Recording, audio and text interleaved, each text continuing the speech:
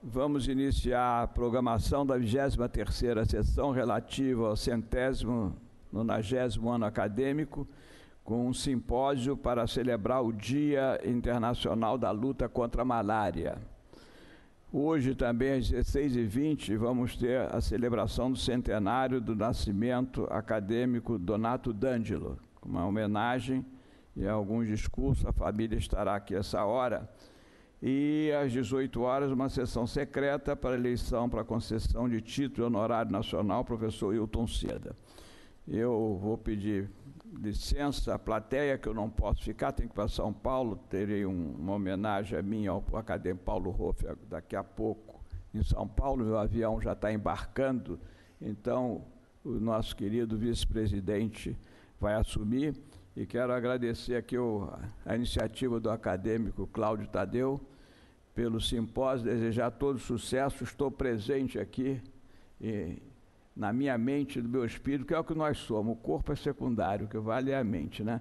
Boa sorte aí, bom simpósio para esse importante tema e peço ao acadêmico Antônio Narte para assumir a presidência dos trabalhos.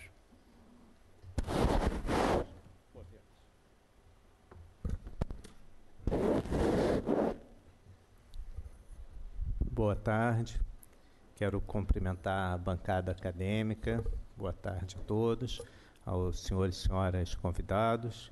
E quero convidar ao acadêmico Cláudio Tadeu Daniel Ribeiro, organizador do simpósio de celebração do Dia Internacional de Luta contra a Malária, para compor a mesa e coordenar os trabalhos.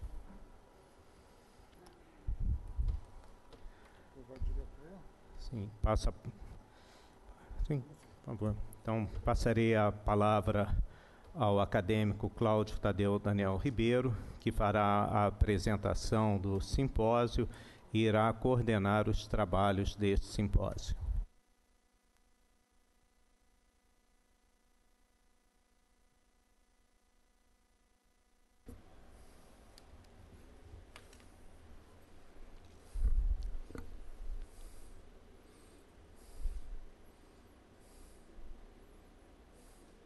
Boa tarde a todos.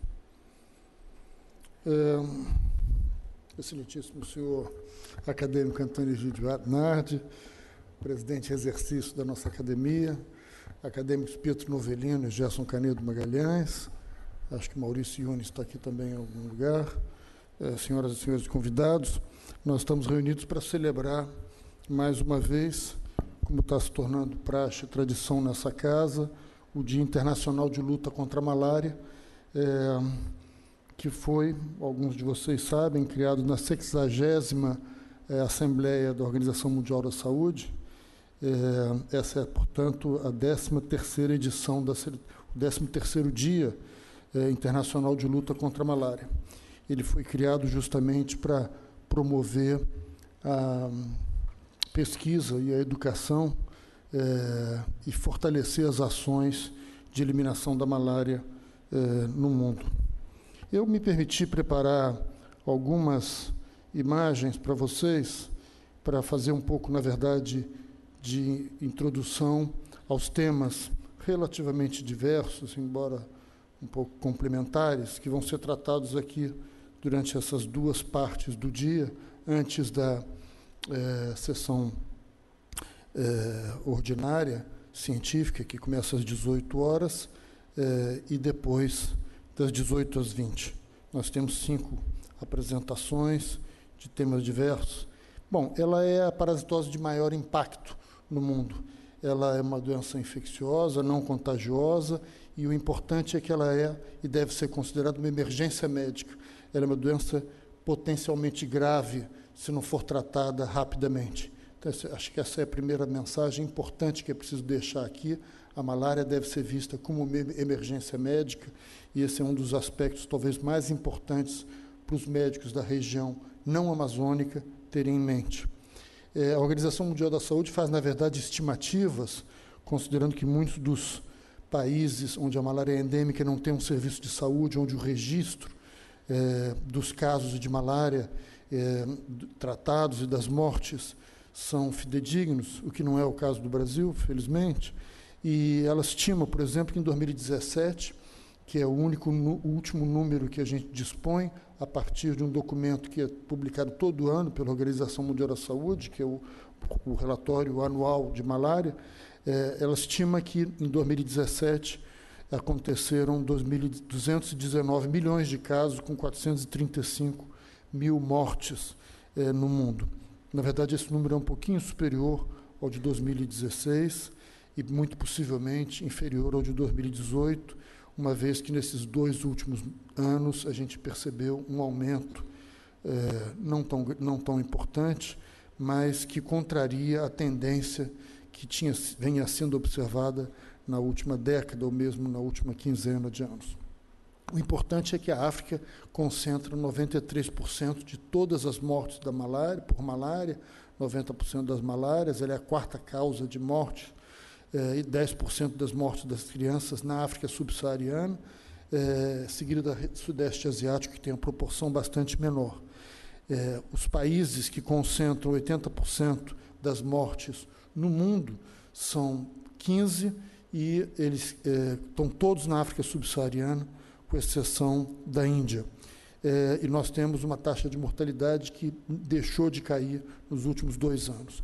Eu botei essa, esse slide aqui, pedindo desculpas ao Ricardo Lourenço, meu colega e amigo do Instituto, que eu proibi de trazer slide em inglês, mas porque, na verdade, é, essa, essa fundação, que é a maior fundação de caridade no mundo hoje, decidiu é, é, introduzir um discurso novo no ano 2000, e, de fato, esse discurso foi muito impactante, porque desde 1956 quando a Organização Mundial de, de, de Saúde determinou, decretou como uma das, dos seus objetivos ele, a erradicação da malária, e embora a gente tenha conseguido de fato eliminar a malária de muitos países, a gente percebeu nos anos 90 que esse objetivo não era alcançável mais por várias peculiaridades é, epidemiológicas em diferentes localidades e que termos, critérios e, e estratégias de, de combate mais ou menos homogêneas para todos os lugares não estava dando certo. Então, se abandonou essa ideia de erradicação e se criou um programa que visava diminuir o impacto, eh, a morbidade e a letalidade da doença, adequando as medidas, eh, tanto quanto possível, essas particularidades epidemiológicas de diferentes localidades. Eh, na verdade, foi data dessa época uma reunião no Brasil que é considerada uma reunião é, importante, um marco muito importante, político, e eu acho que, sobretudo, ele reflete a importância da decisão política nas ações que visam impactar positivamente a saúde.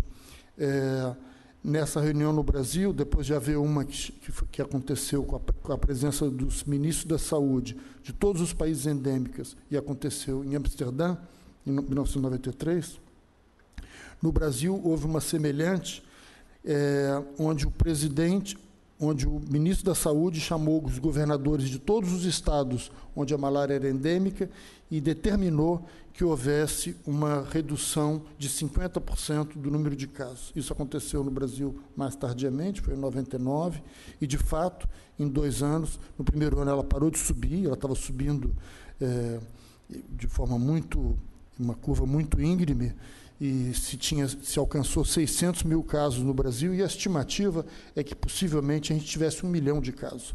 De lá para cá a situação é bastante melhor, sobretudo porque a gente tem, não tem subregistro praticamente, a gente sabe o número de casos de malária que efetivamente acontece no Brasil, e a razão disso é que existe um controle da medicação que é gratuita, portanto o sujeito não pode repor no seu estoque a medicação que gastou se não registrar o caso. Então a gente, de fato, sabe que o número é muito realístico. E, de fato, no ano seguinte, em 2000, a gente tinha um número muito próximo dos 600 e tantos mil casos, e no ano seguinte nós tivemos a, a queda importante. É, desafortunadamente, é, em cinco anos a gente tinha de volta 600 mil casos no Brasil.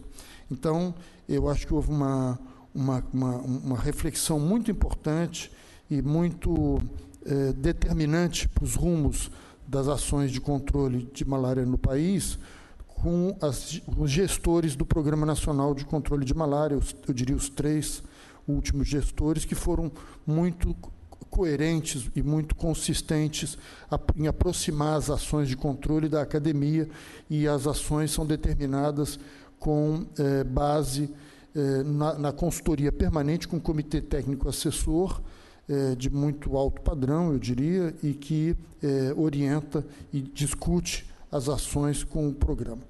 A gente vem, tem, vem caindo no Brasil com esses números nos últimos anos. Eu estou correndo um pouquinho com os dados na frente dos slides, mas a gente vai ver o que aconteceu no Brasil a partir dessa mudança política que eu colocaria no ano de 2000.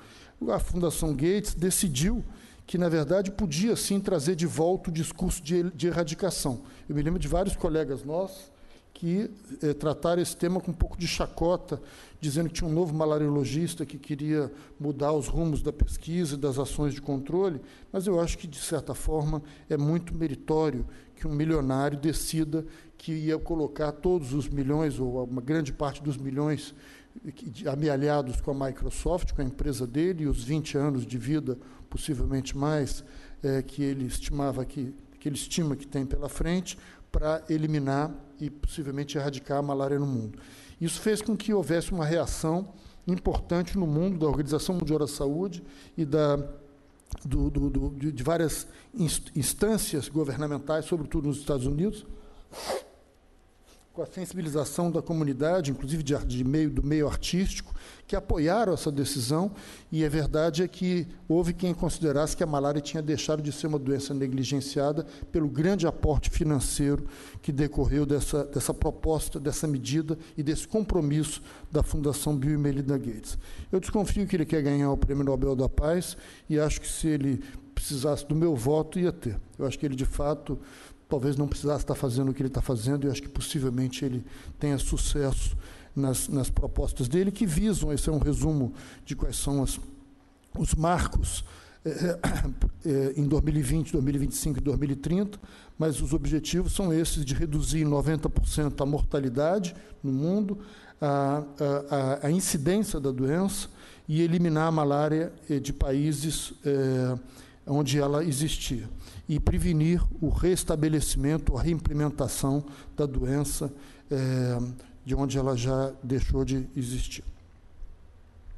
É, essa é uma estimativa que eu acho que mostra que os resultados foram bastante positivos, desde esse esforço, ou do anúncio desse esforço, desse consórcio de esforços no ano 2000.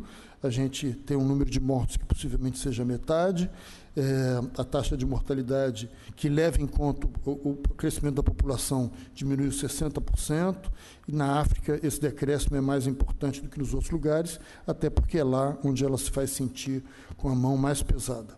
É, essas, essas ferramentas incluem e dão sustentação a essa proposta, esse desejo, essa ambição da Fundação Bill e Melinda Gates, de todas as agências e instâncias que se juntaram a ele na, na, no compromisso, na proposta de erradicar a malária, porque agora nós temos ferramentas que nós não tínhamos nos anos 50. E elas são fundamentalmente é, a existência de mosquiteiros impregnados, isso protege muito, e se estima que uma grande parte das mortes se deve a esse recurso. É, a existência de uma droga que não é nova, mas a combinação de drogas com os derivados da artemisinina fazem com que o parasito seja tratado bem rapidamente, de forma bem impactante. Então, esse é, um, esse é um, de fato uma conquista nova é, e que impede ainda por cima o surgimento de resistência às drogas. E, por último, os testes de diagnóstico rápido, que não, também não estavam disponíveis é, no ano, no, 1900, nos anos 50. Então, nós temos ferramentas, a decisão política, o compromisso político em várias instâncias, com, inclusive com apoio com adesão dos países onde a doença existe, e temos ferramentas que tornam possível isso acontecer, ainda que, é, e sobretudo, temos um, um aporte financeiro que não existia nessa magnitude. É preciso dizer que, mesmo que alguns achem que ela deixou de ser doença negligenciada, o que se estima era que a, a, a luta contra a malária precisava, hoje, se nós tivéssemos 2020, 6,7 bilhões de dólares. E ela, e ela tem, na verdade, com todos esses recursos ofertados por tantas agências, inclusive pelas fundações como a Bill Melinda Gates, é por volta de 2,7 bilhões, quer dizer, nós não, não chegamos, não ultrapassamos nem a metade dos recursos. Ainda assim, o cenário é um cenário bastante distinto do, in, do inicial e, sobretudo, essa é uma muito grande boa, muito grande boa notícia. Ela já não é mais a causa, a principal causa de morte em crianças na África subsaariana, onde o problema é maior. Eu, quando comecei a estudar malária, a gente fazia conta, pelos números que eram anunciados, de que existia uma morte de criança a cada 16 segundos. Hoje existe uma morte de criança a cada dois minutos. Então, a gente está e espera que esteja mesmo, e que os, os, os percalços na evolução desse, desse, de, das ações de controle sejam temporários e que continuem apontando para uma tendência positiva. Esse slide, possivelmente alguns dos senhores já viu, eu gosto muito deles. É, eu gosto muito dele porque ele separa o Brasil em duas metades, uma metade um pouquinho maior, que é a metade que corresponde à região amazônica, essa metade que tem 60% do território tem cerca de 13% da população e tem 99,6% da malária. Então ela é uma distribuição bem pouco justa, sobretudo porque ela tem por volta de 8% do PIB. Então, isso reproduz o que acontece no mundo, no hemisfério norte e sul, a gente tem um pouco a mesma coisa. Houve um período. Ah, e eu, eu, a gente, eu preparei esse slide, na verdade, é, num, num, congresso de medicina tropical, onde a gente estava fazendo uma reunião com a, a representantes da Índia e da África do Sul e, e mostrei é, como é que era a divisão da, da, malária, do dinheiro, do espaço, da população no Brasil, e mostrei também que a gente tinha por volta de 80% dos centros de pesquisa. Acho que esse número possivelmente modificou um pouco, não muito.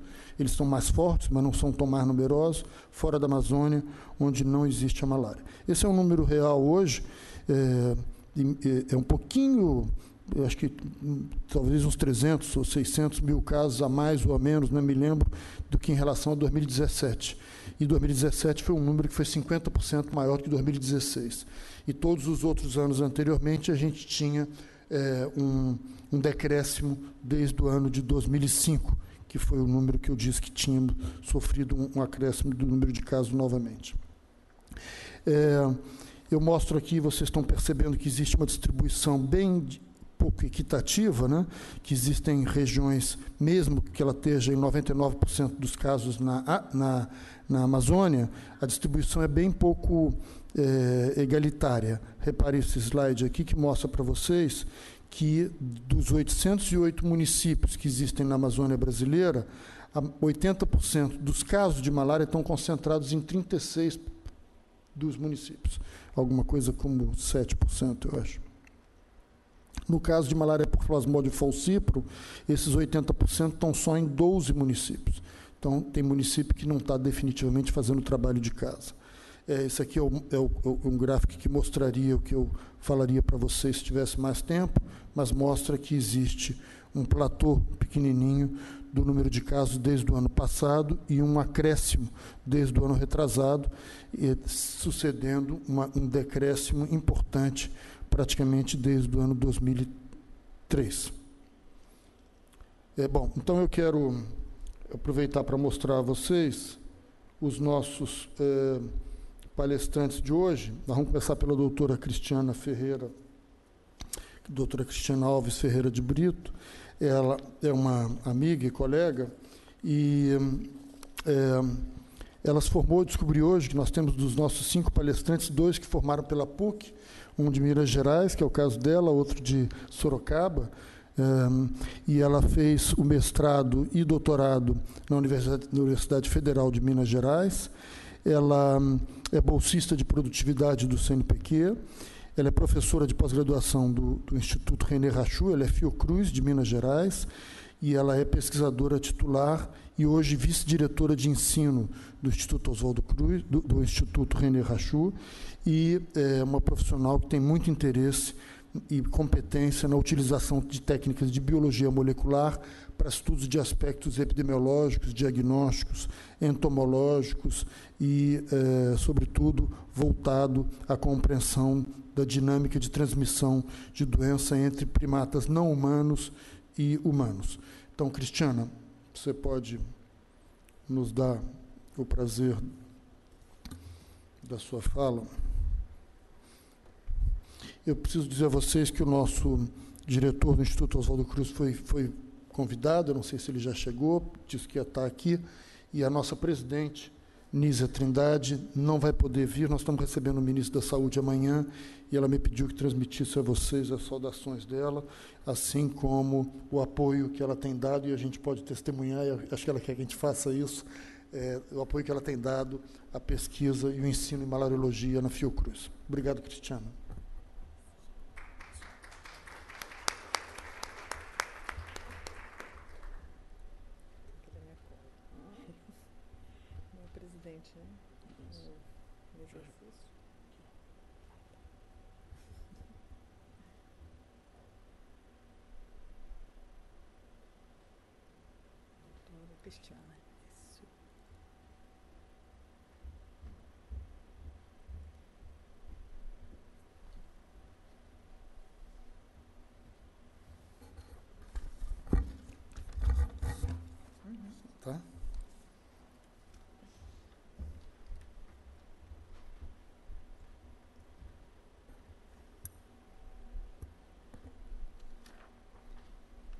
Excelentíssimo presidente em exercício, Antônio Egídio Nardi, integrantes da mesa, doutor Cláudio Tadeu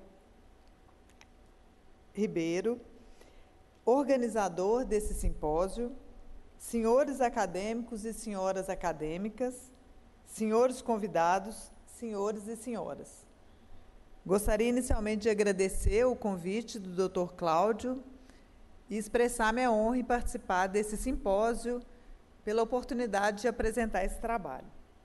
Então, eu vou falar hoje para você sobre a malária em primatas não humanos e a transmissão zoonótica na Mata Atlântica.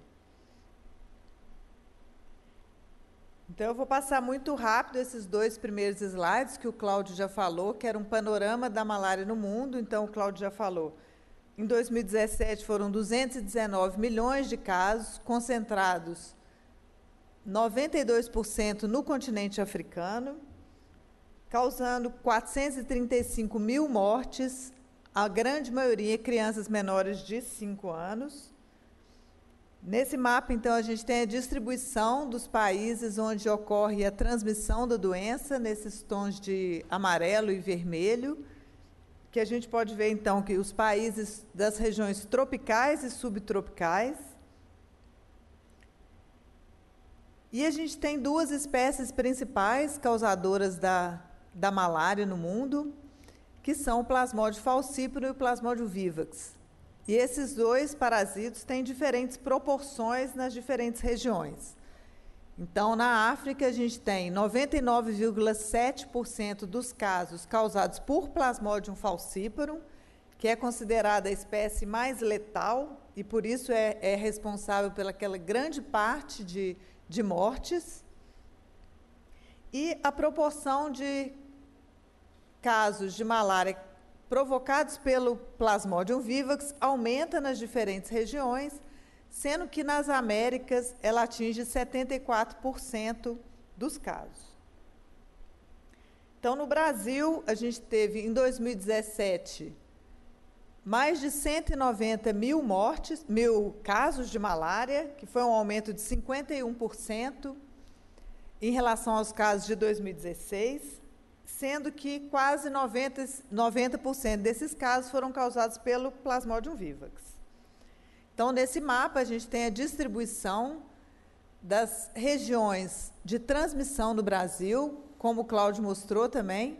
Eles estão concentrados na região da Amazônia Legal, que, que é composta por nove estados, mas que compreende apenas 13% da população. E a região extra-amazônica, então, formada por 17 estados, mais o Distrito Federal, corresponde a 87% da população. Então, os casos de malária, 99,7% correspondem à Amazônia Legal, que é considerada, então, no Brasil, a área endêmica.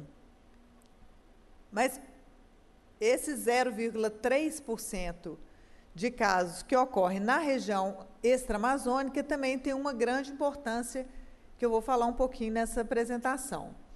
Então, nesse quadro, esse quadro certamente não dá para ler os números, então eu destaquei ali, num quadro um pouco maior, as, o número de casos de 2006 a 2013 de malária na região extra-amazônica. Então, a gente tem ali na região sudeste 10 mil casos, região sul 4.500 casos, na região centro-oeste 5 mil casos e na região nordeste 5 mil casos, totalizando 26 mil casos. Então, a gente tem um número considerável de casos também na região extra-amazônica.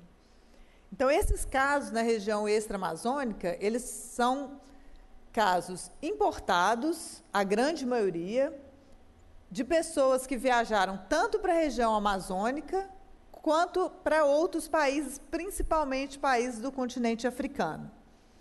E além disso, a gente tem também casos autóctones, que estão principalmente relacionados à Mata Atlântica, que é o que a gente tem estudado nos últimos dez anos. E qual que é a grande importância da malária nessa região extra-amazônica? Então, a gente tem que lembrar, esse mapa está tá representando aqui todos os vetores de malária que estão distribuídos pelo país. E a gente pode ver que essas diferentes cores cobrem todo o território nacional. Ou seja, a gente tem vetores de malária em qualquer região do território nacional. Então, é muito importante a gente pensar em região extra-amazônica, lembrando da possibilidade de ocorrência de surtos e também a possibilidade de reintrodução da malária em regiões consideradas não endêmicas. Então, na região extra-amazônica, as grandes dificuldades são suspeita clínica de malária, então a gente tem que lembrar de outras doenças febris mais frequentes nessa região, como, por exemplo, dengue, atraso no diagnóstico e, consequentemente, no tratamento, e o resultado disso é uma maior letalidade na região extra-amazônica. Quais são as características, então, da malária na região de Mata Atlântica? Então, as características clínicas, inicialmente, os sintomas são clássicos, muitas vezes caracterizados por febre alta, mas que na maioria das vezes não tem muita gravidade. Respondem muito bem ao tratamento com cloroquina e primaquina, que é o tratamento utilizado para o tratamento da malária causada por Plasmodium vivax. E as recaídas ainda não foram relatadas nesse tipo de na, na malária da Mata Atlântica. Os vetores incriminados na transmissão na Mata Atlântica são os anofelinos do grupo Quertésia, principalmente Quertésia cruzi e Quertésia bellator. Esses mosquitos, eles são importantes porque eles têm a capacidade de fazer o repasse sanguíneo tanto na copa das árvores como ao nível do solo. E eles utilizam as bromélias, a água concentrada nas bromélias, para fazer oviposição. Então, essa é a malária de Mata Atlântica, também é conhecida como malária de bromélias. O agente causador da malária na Mata Atlântica, então a gente tem duas diferentes espécies de plasmódio, o plasmódio símio e o plasmódio brasiliano. E esses dois parasitos infectam primariamente primatas não humanos. Ocasionalmente, eles infectam o homem. Então, a, a, a transmissão ocorre com auxílio dos vetores entre os primatas não humanos, principalmente na copa das árvores, e ocasionalmente os, os humanos que entram em contato direto com a mata podem também se infectar caracterizando então nessa região uma transmissão zoonótica da doença.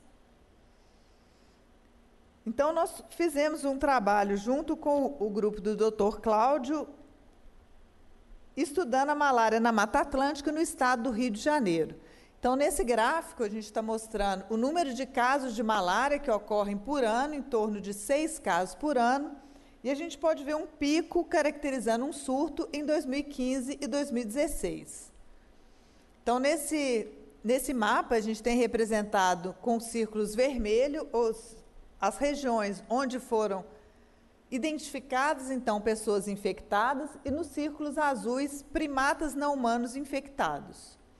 Nesse estudo, então, foram analisados 39 pacientes, e aqui eu fiz um resumo do perfil desses pacientes. Então, a gente tem, a grande maioria eram visitantes, não eram os moradores da região serrana do Rio, eram do sexo masculino, com uma idade em torno de 25 anos, e que tinham todos eles um relato de entrada na mata, com número variável de dias de 1 a 30 dias.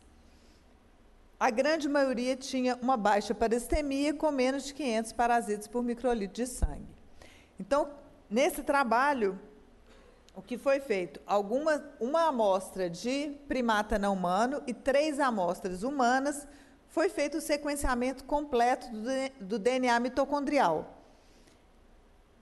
E essa figura representa a, o principal resultado desse, desse artigo, e o que a gente está mostrando aqui, todas essas quatro sequências foram comparadas com quase 800 sequências de Plasmodium vivax, e cada uma dessas circunferências representa uma sequência diferente da outra. Quanto maior a circunferência, maior o número de sequências que são idênticas. Então a gente pode ver que tem as sequências, elas se agrupam por região geográfica, e aqui a gente tem um círculo representado aqui em roxo, que são as nossas amostras da Mata Atlântica, que são de plasmódio símio. Então, essas amostras, tanto de primata não humano quanto de humanos, foram exatamente idênticas. E ficaram próximas das amostras de Plasmodium vivax da América do Sul. Então, com isso, a gente mo mostrou que Plasmodium símio de humanos ou de primatas não humanos é idêntico e diferente de Plasmodium vivax. Essa diferença é de apenas duas bases num tamanho de 6 mil bases. Esses dados, então, foram publicados no The Lancet Global Health em 2017 e foi a primeira vez que foi mostrada uma comprovação molecular dessa transmissão zoonótica de plasmódio símio. Então, falando das espécies de plasmódio que infectam primatas, a gente tem 57 espécies de plasmódio, das quais 55 infectam 37 espécies de grandes primatas e primatas do Velho Mundo. E apenas duas espécies de Plasmodium são capazes de infectar 42 espécies de primatas neotropicais. Então, o nosso trabalho é exatamente sobre essas duas espécies que eu falei, o Plasmodium símio e o Plasmodium brasiliano. Então, nesse quadro, a gente tem uma comparação entre essas duas espécies. Então, o plasmódio símio ele foi descrito inicialmente por Fonseca em 1951, foi descrito num bugio ruivo de São Paulo, e o plasmódio brasiliano foi descrito por Gonde em Berenberg em 1908 e um cacajal calvos da região amazônica. O plasmódio símio ele tem uma alta similaridade com o plasmódio vivax, que infecta humanos, e o plasmódio brasiliano, uma alta similaridade com o plasmódio malari, que também é capaz de infectar humanos. O plasmódio símio ele tem uma distribuição geográfica bastante restrita, sendo descrito apenas na Mata Atlântica do Sul e Sudeste do Brasil. E é capaz de infectar um número bastante restrito de espécies de primatas não humanos. De forma contrária, o plasmódio brasiliano já foi descrito no México, nas Américas Central e do Sul, tanto na Amazônia como na Mata Atlântica. E é capaz de infectar um grande número de espécies, sendo considerada a espécie de plasmódio mais promíscua. Nesse mapa estão representados todos os relatos já descritos na literatura de infecção de primatas não humanos por Plasmodium brasiliano. Então a gente pode ver relatos que foram ocasionais no México e na Venezuela, que é apenas uma espécie. Em outros países, o número maior de espécies, sendo que o Brasil concentra o maior número de diferentes espécies e é o único que tem espécies representantes das cinco famílias de primatas neotropicais.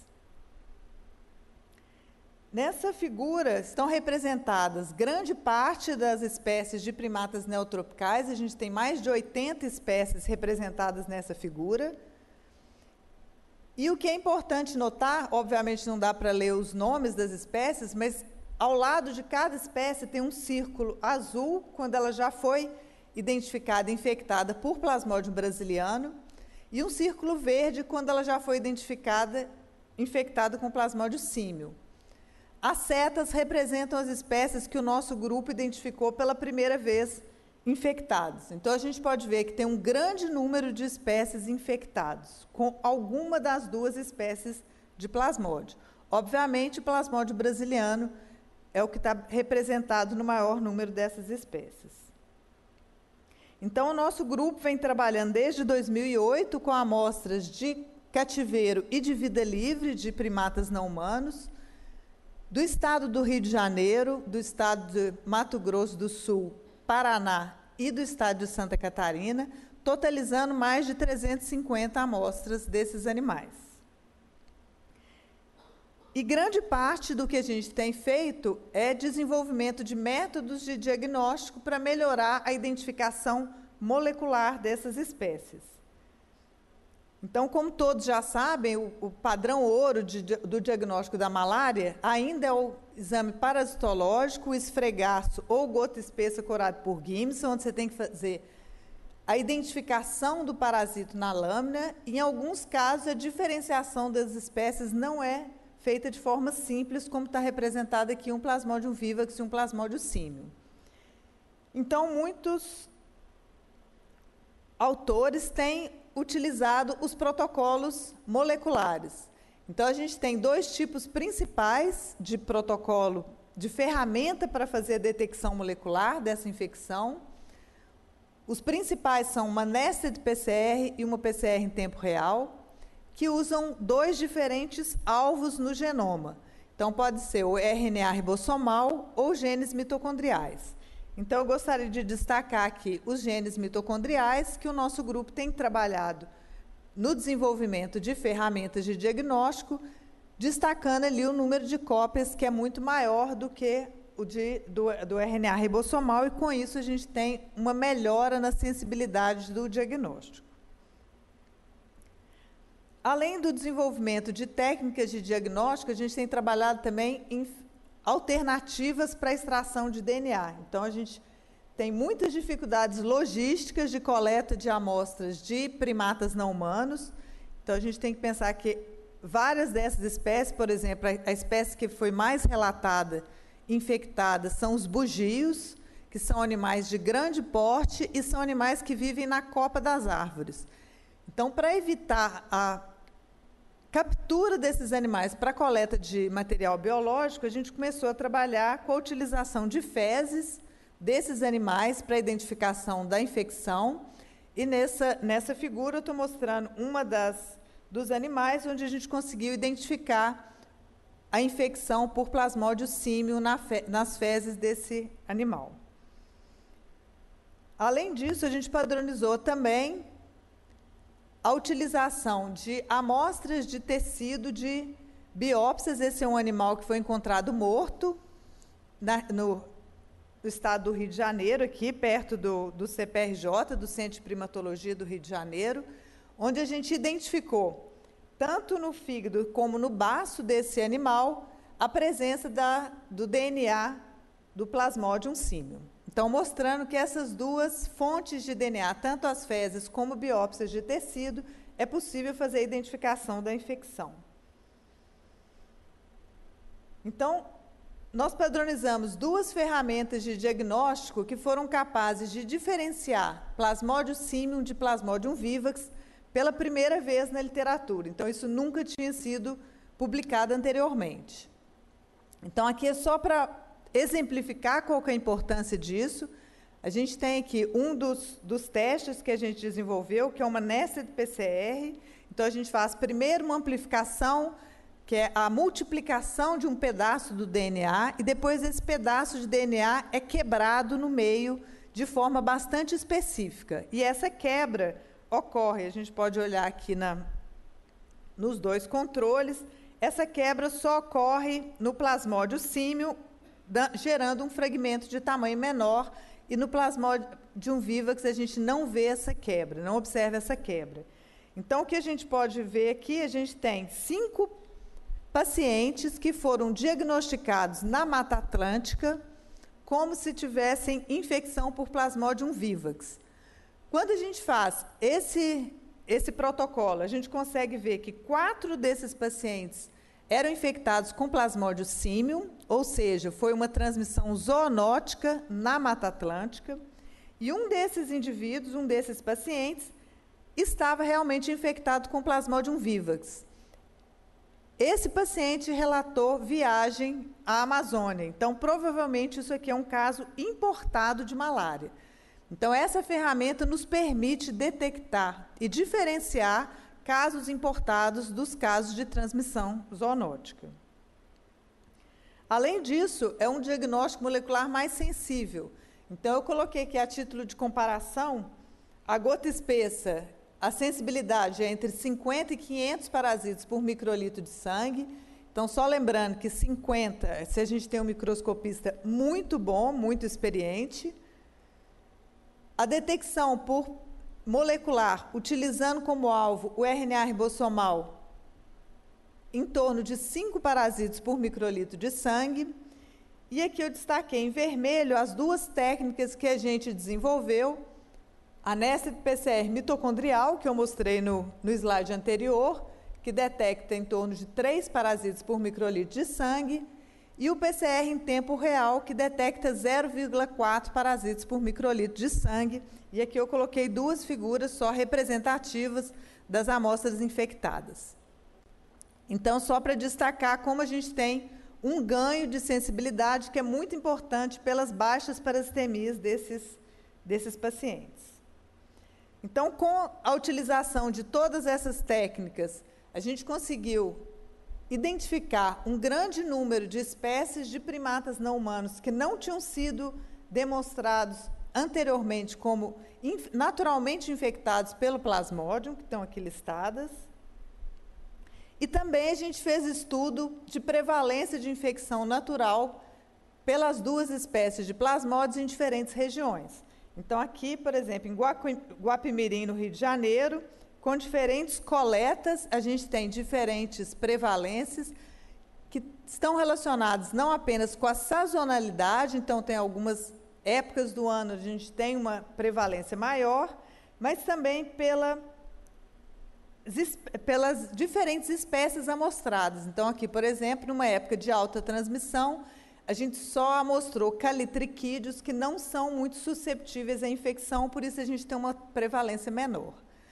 Então, eu gostaria de destacar aqui esses outros dois experimentos, onde a gente fez a detecção de infecção em Dayal, Santa Catarina, onde a gente viu que os animais de vida livre têm uma taxa de infecção muito maior, chegando a 35%, e de forma muito surpreendente, em Joinville, Santa Catarina, a gente trabalhou com 40 animais de vida livre e a gente conseguiu identificar a infecção em 70% desses animais. Então, esses dados nunca foram descritos na literatura com uma taxa de infecção tão grande e, de forma muito surpreendente, 40% tinham infecção com as duas espécies de plasmódio. Então, os desafios da malária na Mata Atlântica. Suspeita clínica para os visitantes da, das regiões de Mata Atlântica, utilização desse diagnóstico diferencial para a gente fazer o monitoramento da transmissão zoonótica e, com isso, ter uma vigilância epidemiológica melhor, identificação de indivíduos com malária importada, principalmente aqueles de infecção subpatente, e podem servir também de fonte de infecção para outros indivíduos identificação das espécies de primatas não humanos que podem atuar, então, como reservatório, que vão ser importantes para a gente entender um pouco a epidemiologia da transmissão zoonótica de malária. Então, eu gostaria de agradecer todos os, os colaboradores desse trabalho, as agências financiadoras. Muito obrigada.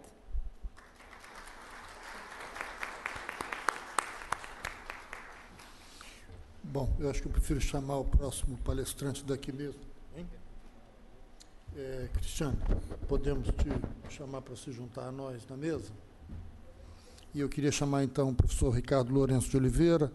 O Ricardo é médico veterinário pela UF, é mestre em biologia parasitária pela nossa instituição, Instituto Oswaldo Cruz, é, da Fiocruz, e doutor em ciências veterinárias também pela, ou na verdade, pela Universidade Federal Rural do Rio de Janeiro. É, o Ricardo é é, ele se apresenta como entomologista, mas eu acho que ele é um verdadeiro parasitologista. Ele é um aluno, é, foi um aluno dileto do é, Leônidas Dini. Leônidas Dini foi talvez o mais importante malariologista brasileiro. É, ele dá nome ao prédio que a gente ocupa, que eu ocupo, e é, nome ao um seminário que a gente organiza há 24 anos. Ricardo. Então, boa tarde. Excelentíssimo senhor presidente em exercício Antônio Nardi, integrante da mesa, Dr. Cláudio Daniel Ribeiro, organizador desse simpósio, senhores e senhoras acadêmicas, senhores convidados, senhoras e senhores. Eu fui convidado para falar de dois surtos que acometeram o Rio de Janeiro recentemente. É, vocês podem observar aqui, isso. Ah, eu coloquei só os últimos anos né, para a gente ter uma ideia da, da situação. Então, em 2015 e 2016, nós tivemos uma epidemia, na verdade, um surto de malária no Rio de Janeiro, e no final de 16, 17 e 18, um surto de febre amarela.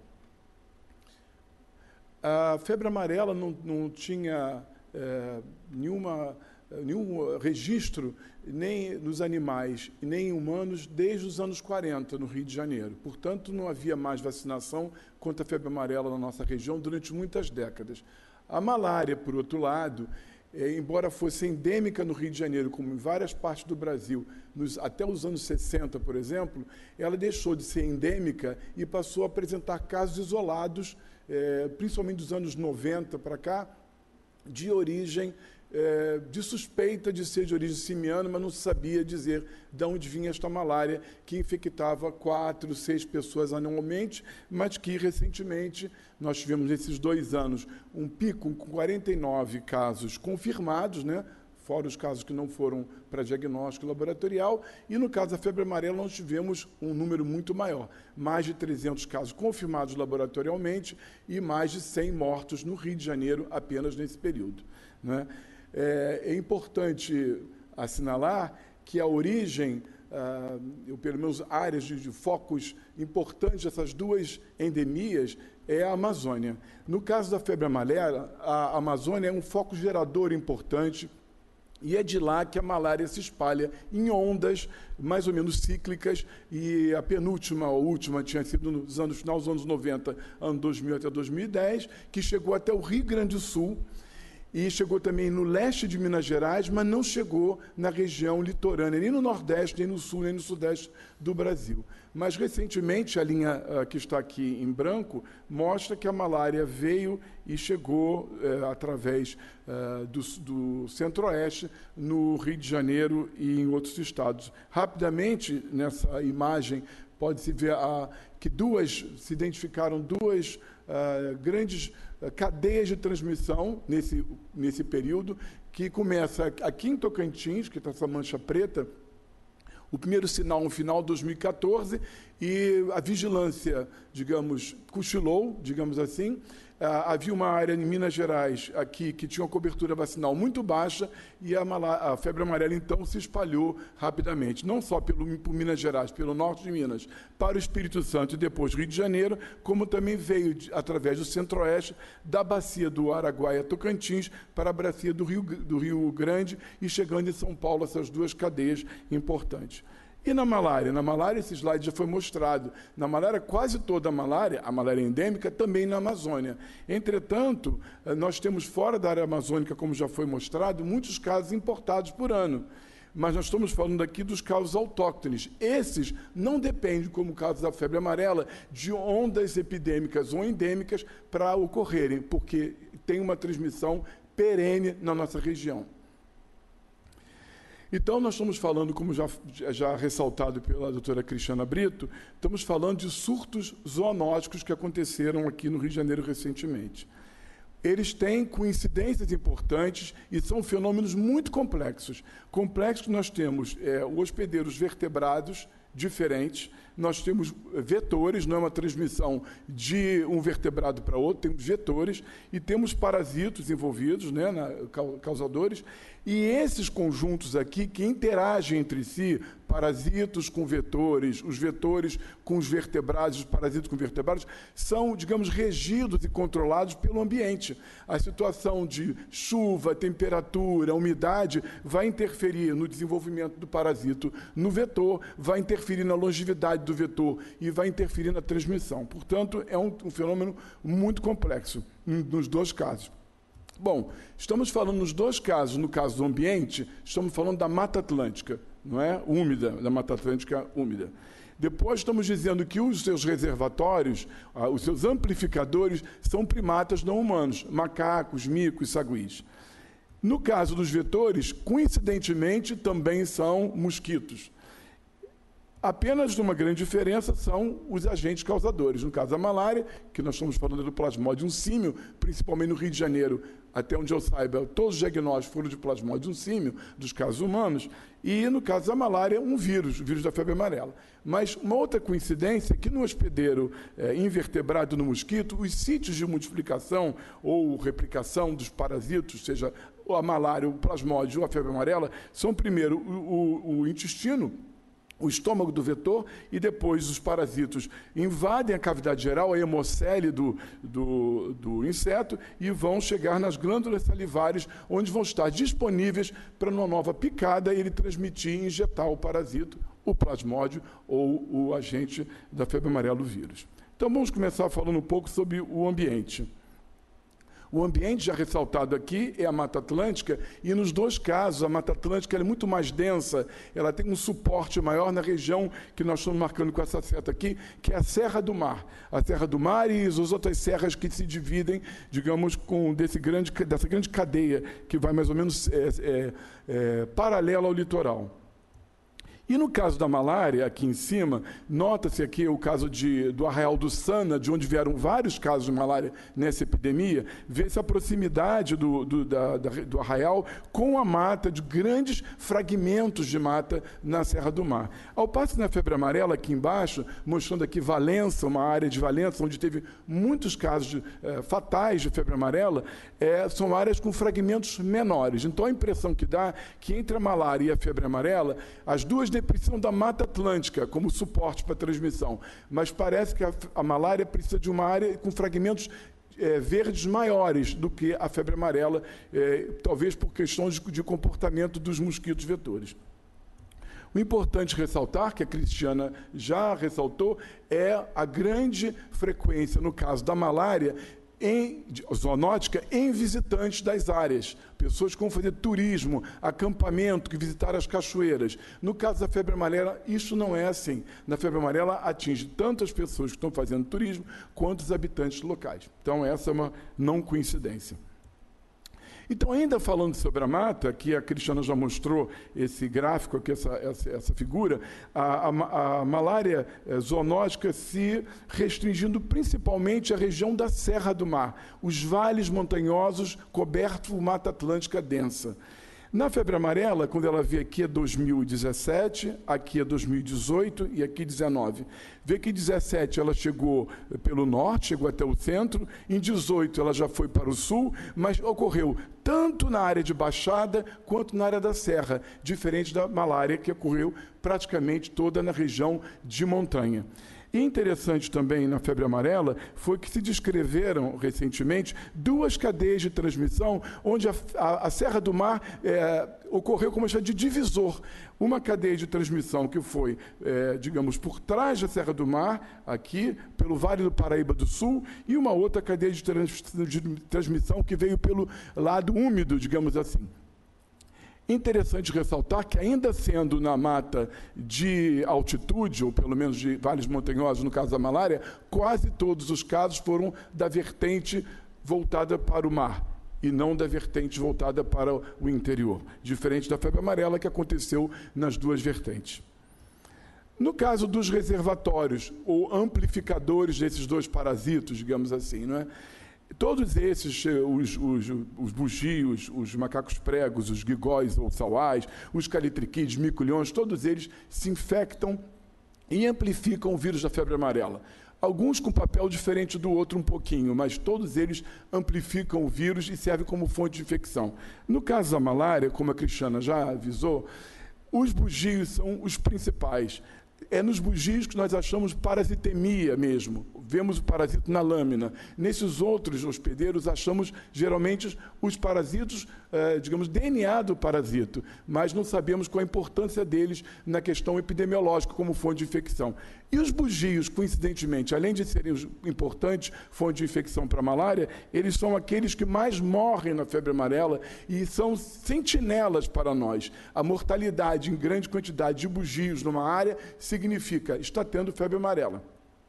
E é interessante que enquanto esses bugios estão no chão, é, às vezes passam horas, às vezes um dia inteiro, agonizando com uma, uma coisa toxêmica, não é, da febre amarela, da, da, perto da morte, eles são muito atacados por esses mosquitos vetores. Aqui tem uma foto, a quantidade de mosquitos atacando até com um macaco já morto, de tão atraente que esses animais são para esses, para esses mosquitos. Bom, a diferença outra que acontece também, numa área onde a febre amarela não entrou, esses macacos seriam os macacos todos suscetíveis. É o que estava acontecendo no Rio de Janeiro, até 2015, pelo menos. Os macacos eram todos suscetíveis. Os macacos nós examinamos para malária até 2015, todos têm serologia negativa para febre amarela. Eles não tinham anticorpo. Aí a, a febre amarela entra no Rio de Janeiro. Então morre a grande quantidade de macaco em cinza. E tem alguns, os amarelos, que são aqueles que vão resistir à infecção, uma quantidade pequena. E alguns que não foram picados, por sorte, resistem.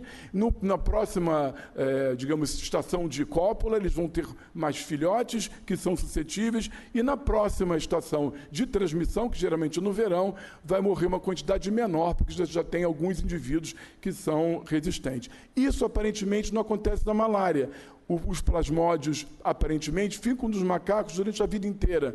É, é muito comum encontrar macacos que não têm parasito, mas que têm, por exemplo, é, é, parasitas, digamos assim, na lâmina, mas que tem é, DNA em baço, em fígado, é possível que já tenha tido uma vez, ou que tenha parassemia em baixa quantidade, e que no momento qualquer de transmissão ele volta a ter infecção, talvez para um outro é, plasmódio ou, ou uma nova infecção.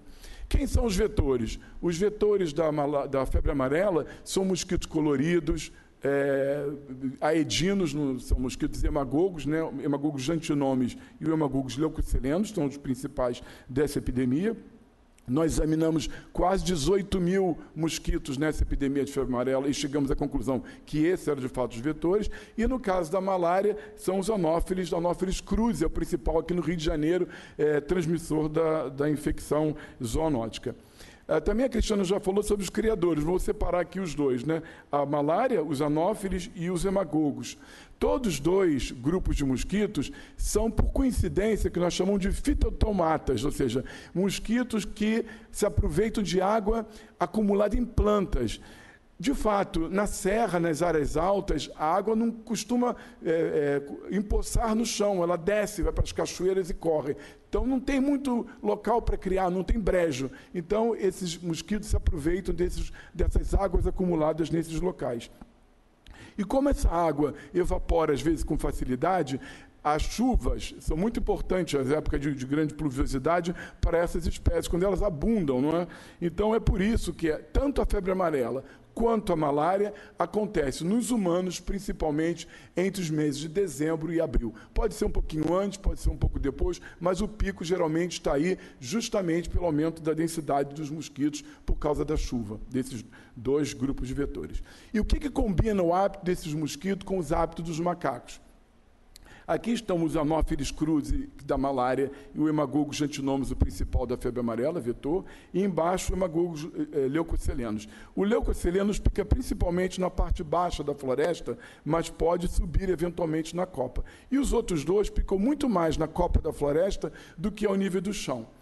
E dividindo aqui em quatro partes, digamos, a jornada, uma jornada, amanhã a, a, próximo do meio-dia, após o almoço, digamos assim, após meio-dia, na área mais quente do dia, e à noite. Observem que no, no, início da manhã e no início da tarde, os macacos fazem muita ação para comer, para, eles se vocalizam, eles são muito mais ativos, é muito mais difícil do mosquito atacá-los. Entretanto, no meio-dia, ou em torno do meio-dia, início da tarde, eles descansam em grupo, se acumulam em grupo e descansam.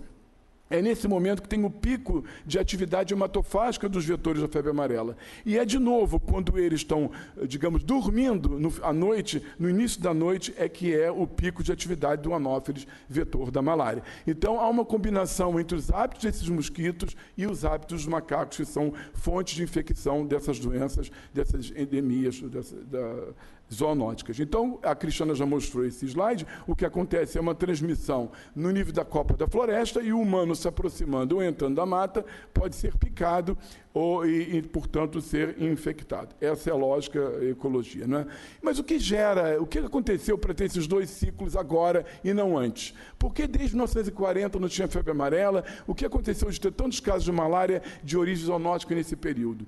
Vamos tentar dar algumas razões. A primeira, a primeira delas, do, do conjunto da saúde pública a baixa cobertura vacinal. Na malária não temos uma vacina ainda útil, né? E na febre amarela, isso foi uma grande causa, né? Não só tinha baixa cobertura vacinal, quase zero no Rio de Janeiro, porque nós éramos considerados uma área indene de febre amarela, então não tinha. E quando começaram a vacinar, disseram: "Vamos vacinar as crianças". As crianças não entram com frequência na floresta. A Cristiana já falou no caso da malária, são os adultos principalmente. Então foi um erro enorme essa ação e agora nós estamos com algumas áreas como Casimiro de Abreu, que tem 120% de cobertura vacinal. Vacina toda a população de lá e os visitantes. Mas antes não era assim, isso foi uma grande causa dessa epidemia. E no caso tanto da malária quanto da febre amarela, foi a questão da deficiência na comunicação da informação. Informação desde a saúde pública, da, da atenção básica, não é? a identificação de que é febre amarela ou que é malária, reconhece isso rapidamente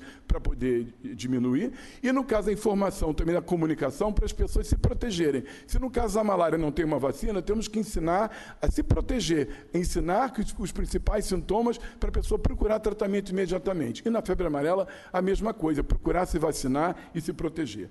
Devemos lembrar que é uma transmissão não erradicável. Nós não vamos destruir as florestas, nós não vamos destruir as bromélias nem o oco de árvore, nem vamos matar todos os macacos. Portanto, vai continuar a ter transmissão de malária zoonótica e de febre amarela no Rio de Janeiro, apesar de ter passado as epidemias e os surtos.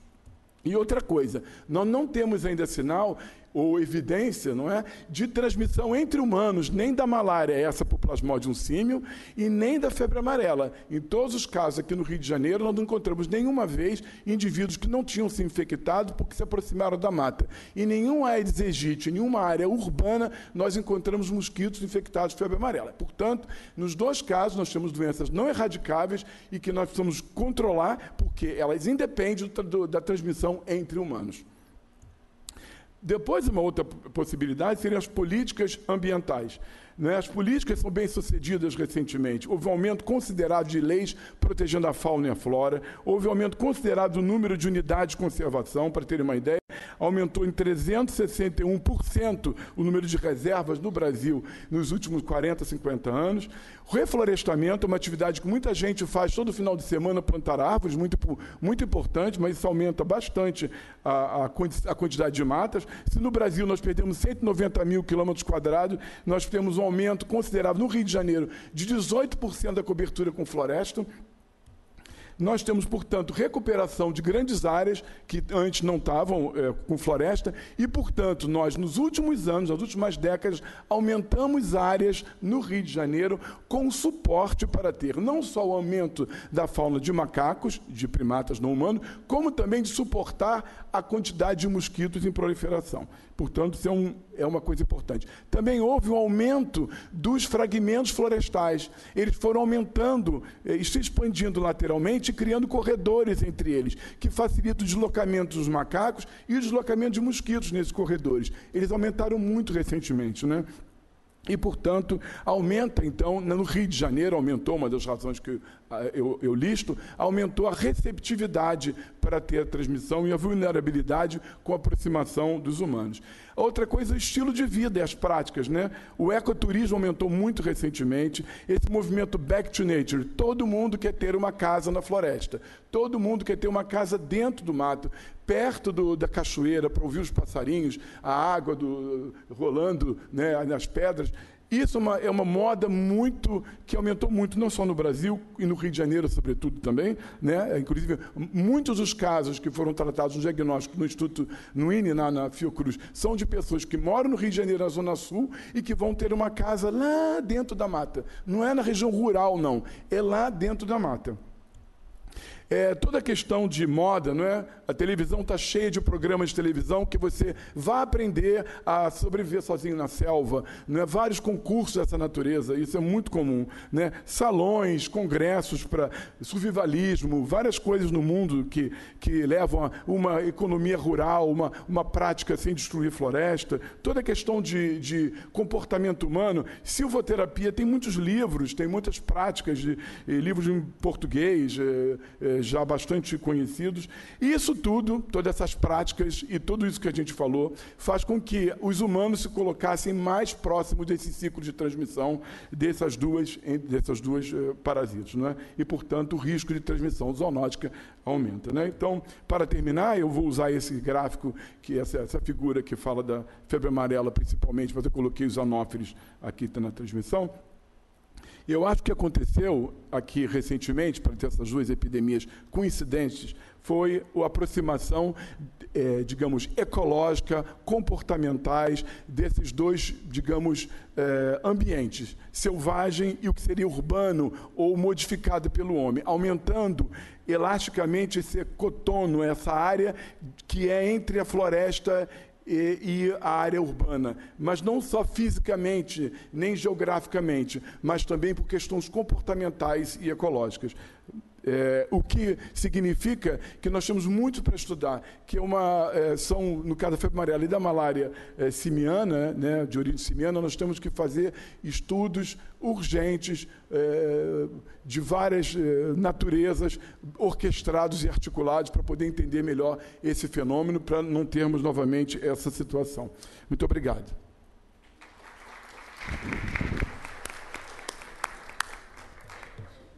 Obrigado, Ricardo. Posso te convidar para você se juntar a nós? Eu vou chamar imediatamente, então, o terceiro palestrante dessa parte do simpósio, que é o Dr. Leonardo Carvalho. Leonardo é farmacêutico formado pela Universidade de Juiz de Fora.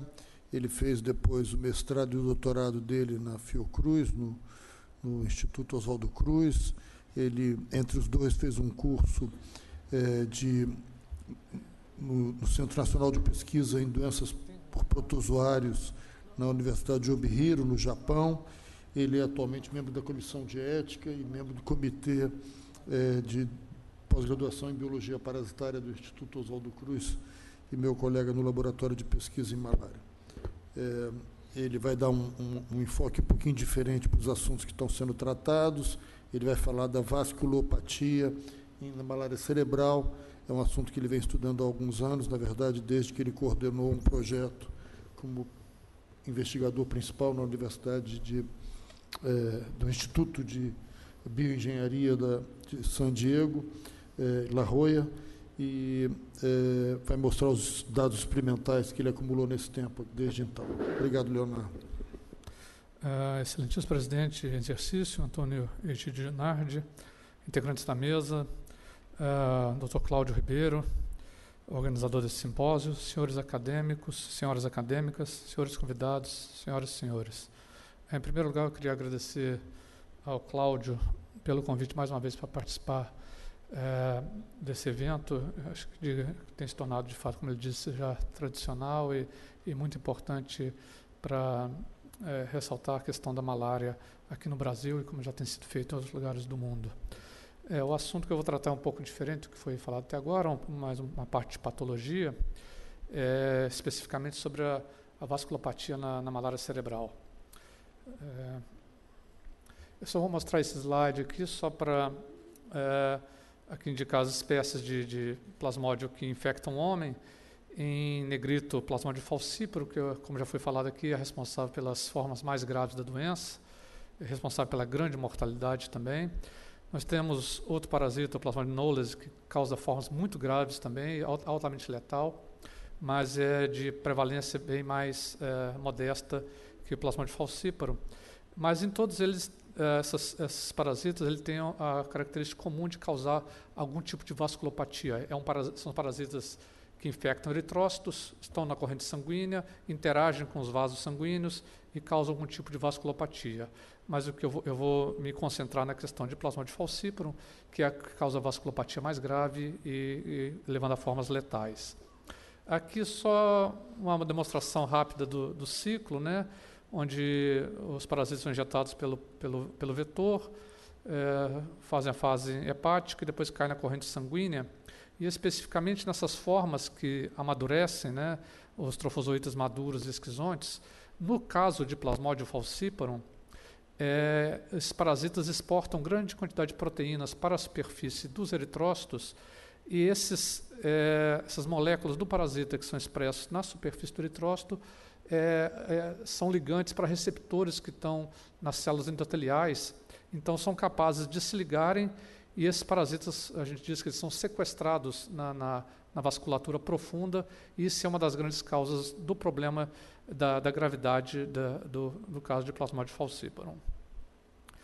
É, esse é um slide, já não é tão novo, é, é uma publicação de 2012, mas ele é bem interessante porque ele registra que a mortalidade por malária no mundo são estimativas é, de um estudo feito, publicado na Lancet, que usa, na verdade, dados de estimativa diferentes da OMS. Então, na verdade, eles estimavam na época ainda mais casos de mortalidade por, por malária mas na verdade com, com a, a, tendência nos dois casos é a mesma coisa.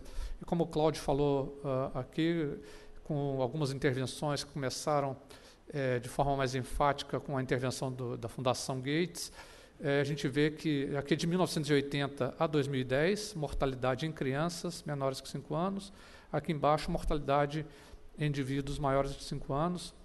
E o que a gente vê é que vinha num crescente até que em 2004 foi o, o registrado o maior número de mortes, e a partir daí, com as intervenções é, é, que foram implementadas a partir dessa, dessa, desse enfoque mais, mais forte, né, é, o número de casos, o número de mortes começou a cair tanto em crianças quanto em adultos. E aqui só para destacar que essas três partes mais em vermelho e, e, e tonalidades mais claras aqui é a mortalidade na África, né? Então, responsável por 80, 90% das mortes de crianças adulto um pouco menos, mas ainda assim é grande quantidade. E, essencialmente, mortalidade por Plasmodium falciparum. No Brasil, uh, como foi ressaltado, o número de casos é menor, a, a número de mortes é muito pequena, é, mas, a, a, foi, como foi falado aqui de forma bastante interessante, a mortalidade na região extra-amazônica aqui, é cerca de 100 vezes maior do que a mortalidade na região endêmica, que concentra 99,7% dos casos, mas tem uma mortalidade muito mais baixa do que na área extramazônica e, como foi dito aqui também, é, basicamente pela demora no, no diagnóstico, então o, indivíduo acaba complicando o que não ocorre muito frequentemente na, na área endêmica, porque onde o tratamento, o diagnóstico e tratamento é feito de forma bem mais rápida. Ah, nos casos de malária grave, né, que, que, são grande parte letais se não forem tratados a tempo, é, o tratamento de escolha é o artesanato intravenoso, é uma droga de grande eficácia na, na, em, em, matar o parasita muito rapidamente. É, então, aqui foi um estudo comparando com a quinina, que era o tratamento dado antes, né, você vê que tem uma, uma vantagem, uma mortalidade menor, a sobrevida é maior nos pacientes tratados com artesanato do que aqueles tratados com quinina. Então, desde o final dos anos 2008, 2010, esse tem sido o tratamento de escolha para as formas graves. Formas graves, inclusive, é, malária cerebral, que é uma das formas graves da malária. Vocês não vão conseguir ler isso aqui, mas é só destacar aqui que quando a gente olha esses casos de mortalidade, quando você é, vai identificar qual a causa da morte, se é por malária cerebral, ou por, ou por acidose, ou por anemia grave, ou algum outro tipo de complicação da, da malária grave, é, quando a gente tem aqui uma mortalidade em torno de, de 8%, né, uma sobrevida de 92%, mas quando esse paciente apresenta com coma, que é o caso de malária cerebral, esse índice de mortalidade chega a 20%. Então, é cinco vezes maior, é, quatro vezes maior, se ele é, é, apresenta coma do que se ele não apresenta coma e algum outro tipo de complicação. É, então, calcula-se que a, a, malária cerebral seja responsável por cerca de 80% das mortes por malária. E por isso é o foco de, estudos de, de, muita gente. A gente tem feito, é, um pouco utilizando alguns modelos experimentais, é tentar uh, melhorar a, a, eficácia do tratamento. Então, nós temos a, a, o artesanato intravenoso, que é altamente eficaz, mas ainda, é, quando se apresenta com coma, cerca de 20% ainda morre. Isso no estudo clínico, onde tinha todas as condições de, de, de tratamento da, das crianças. Se você vai, por exemplo, no Hospital Central de Maputo, em 2015, das, da, de todas as crianças que entraram com malária cerebral, a mortalidade foi de 42%. Né? Isso no hospital de, de referência é, em Moçambique. Então, é, ainda o tratamento tem muito a ser melhorado para recuperar esses casos. É, então, para isso, a gente precisa entender um pouco da patologia. E esses slides aqui mostram a principal característica, talvez, da, da, da patologia malária cerebral, porque aqui são micrografias eletrônicas de, de vasos do cérebro, né, de pessoas que morreram de malária cerebral. E o que a gente observa nos vasos é essa adesão de hemácias parasitadas ao endotélio, né, alguns casos bloqueando completamente o fluxo sanguíneo nesses vasos. É, como eu disse, mediado por aquela interação de ligantes, ligantes expressos na membrana do eritrócito, que se ligam às células endoteliais. É, outra característica é um processo inflamatório bastante intenso, então você observa em muitos vasos grande quantidade de leucócitos ativados, que também ajudam a bloquear esse fluxo sanguíneo. Você vê aqui, no, no caso de um capilar aqui, tem um macrófago com, muito ativado, com um parasita fagocitado, né? então está muito ativado. Isso, ah, essa, essa processo inflamatório ajuda a ativar o endotélio, o endotélio passa a expressar mais receptores e com isso começa a ter mais adesão e a coisa tende a, a, a continuamente se agravar. E quando a gente olha na retina, por exemplo, de, de, pacientes que, com malária cerebral, a gente observa como no cérebro grande quantidade de, de microhemorragias, e quando a gente faz angiografia, a gente observa essas, essas áreas né, é, não perfundidas, em alguns casos chegando a, a, a ter uma, uma, áreas extensas de não perfusão. Então você tem um problema de, de isquemia bastante sério é, nesses pacientes, causado por esse bloqueio dos vasos, mas também por outros fatores que eu vou mostrar aqui. É, o que a gente tem é, estudado é justamente essa questão da, da vasculopatia. Então, malária, é, o plasmodium parasita que infecta eritrócitos, é, está na corrente sanguínea, causa uma, uma, uma, uma infecção intravascular, é, que interage de forma bastante intensa com o endotélio. E além da questão da, da adesão, nós temos outras características de, de disfunção vascular causada por essa interação, que é, por exemplo, a depressão de óxido nítrico, né? O óxido nítrico é uma molécula central para para manutenção do tônus vascular. Então você tem uma depressão de, dessa molécula. É, você tem então, como eu já falei, a adesão de leucócitos, a, a, a obstrução da microcirculação, baixa disponibilidade de óxido nítrico, tem altos níveis de hemoglobina é, livre, que, que, que acabam consumindo parte do óxido nítrico, tem baixas quantidades de arginina, que é o precursor né, da, da produção de óxido nítrico, é, baixos níveis de angiopoetina 1 e altos níveis de angiopoetina 2. Angiopoetina 1 e angiopoetina 2 estão, são reguladores da, da, da quiescência vascular da célula endotelial, então uma baixa de angiopoetina 1 com alta de angiopoetina 2 revela um processo de, de perda de quiescência, é, aumento de moléculas de adesão, é, leva, acaba levando aumento da permeabilidade, quebra da barreira hematocefálica e também uma, uma resposta dilatatória é, bem é, diminuída é, nos vasos dos pacientes, principalmente com, com malária grave. É, eu não vou me deter aqui, mas é uma das características da, da malária, assim como de, de todos os processos de, de, de doenças hemolíticas, né, quando ocorre uma grande quantidade de hemólise, é a liberação de hemoglobina livre. Essa hemoglobina livre tem várias atividades fora da hemácia, e uma delas justamente consumir óxido nítrico, como eu já falei, e, além disso, essa baixa de, de arginina aqui leva a menor produção. Então, nós, nós temos menor produção de óxido nítrico, e maior consumo. Né? O óxido que é produzido ele acaba sendo consumido pela hemoglobina livre. Isso leva a uma série de resultados, como, como por exemplo, uh, uh, uma regulação uh, impedida do, da, da, do tônus vascular, né, do músculo liso, a, ativação de plaquetas, agregação de plaquetas, vasoconstrição e trombose intravascular, tudo isso é observado nas formas graves de malária. É, o que a gente faz para estudar esses fenômenos é utilizar de um modelo experimental, que é um modelo é, de camundongos, que são infectados. Tem várias possibilidades é, de modelos experimentais envolvendo parasitas de camundongo com diferentes é, variedades de camundongo, né, de, de linhagens de camundongo.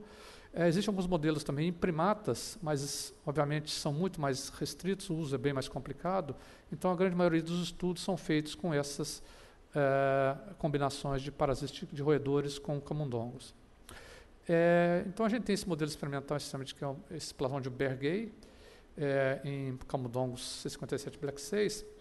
Ele replica, na verdade, várias características da malária cerebral, ele, ele acaba causando uma síndrome neurológica no camundongo, é, que leva a, a, ataxia, convulsões e, é, essencialmente, ao coma e à morte do animal. É, tem várias similaridades, tem algumas diferenças também. A principal delas é que uh, no, no, na malária cerebral humana nós temos uma grande quantidade de hemácias parasitadas sequestradas e poucos leucócitos. No camundongo a gente vê uma, o oposto. A gente vê muito leucócito, mas é, ainda assim vê bastante hemácia parasitada, como a gente pode ver aqui nesse vaso grande da meninge. Né? E aqui a gente mostra, por exemplo, também uh, o acúmulo de parasitas no cérebro de animais com malária cerebral comparados com animais não infectados. Além disso, também no plasmode falciparum aqui e no plasmode Berg, nós temos a presença de microhemorragias nos dois casos, uh, acúmulo de parasitas, como mostrado aqui, aqui e aqui, e também esses problemas de perfusão, por exemplo, na retina, é, observado nos dois é, modelos. E são ambos caracterizados por, por essas características de vasculopatia grave, né? A quebra da barreira hematocefálica, inflamação, é, coagulopatia, hipóxia e disfunção endotelial. O, que a gente tem feito para estudar isso então, é um modelo, na verdade, de microscopia. Essencialmente, a gente faz várias coisas, mas uma das abordagens é com microscopia intravital. A gente, na verdade, está numa janela craniana uh, uh, uh, no animal, que permite, eh, no animal vivo, visualizar a microcirculação cerebral. E, e, com isso a gente só coloca o animal para dormir e observa várias características da microcirculação, como por exemplo o diâmetro dos vasos, a velocidade da, das, do fluxo de hemácias, é, o processo inflamatório, a, a, é, a, própria oxigenação dos tecidos e outras características são possíveis de ser observadas no animal vivo e de forma sequencial, né? antes da infecção, depois da infecção, durante a expressão da malária cerebral. Isso permite que a gente consiga quantificar uma série de fenômenos é, nesses animais. E uma das primeiras coisas que a gente observou é, é que nos animais é, normais, se a gente acompanha a questão do, do fluxo sanguíneo, tanto de arteríolas como de vênulas, a gente observa que num animal normal ele se mantém estável durante o tempo, ao passo que um animal que faz malária cerebral, quando ele expressa malária cerebral, ele tem uma queda brutal de fluxo sanguíneo. É, e essa queda está relacionada tanto a uma constrição dos vasos, né, então a uma diminuição dos diâmetros da, das arteríolas, por exemplo, e uma diminuição da velocidade de fluxo também, levando a uma queda grande de fluxo sanguíneo, obviamente leva a um processo isquêmico e, e, de, hipóxia. Uh, a gente mostra aqui, por exemplo, a gente mensurou a oxigenação do tecido, tanto em arteríolas quanto no tecido perivascular e em vênulas. Esse é um animal normal, então você observa que aqui é fluxo, mas pode ser diâmetro também. À medida que o diâmetro das arteríolas vai diminuindo, a pressão de oxigênio vai diminuindo, ela atinge isso para que o, o, oxigênio seja liberado das hemácias para o tecido e depois se recupera um pouco nas vênulas. E o que a gente observa no animal normal, quando a gente observa tanto a tensão de oxigênio, na, nas, é, tensão de oxigênio e, e, outros fatores relacionados à oxigenação, nos animais doentes, tanto em arteriosas quanto em vênulas, a gente observa é, essa queda bastante importante da, da oxigenação.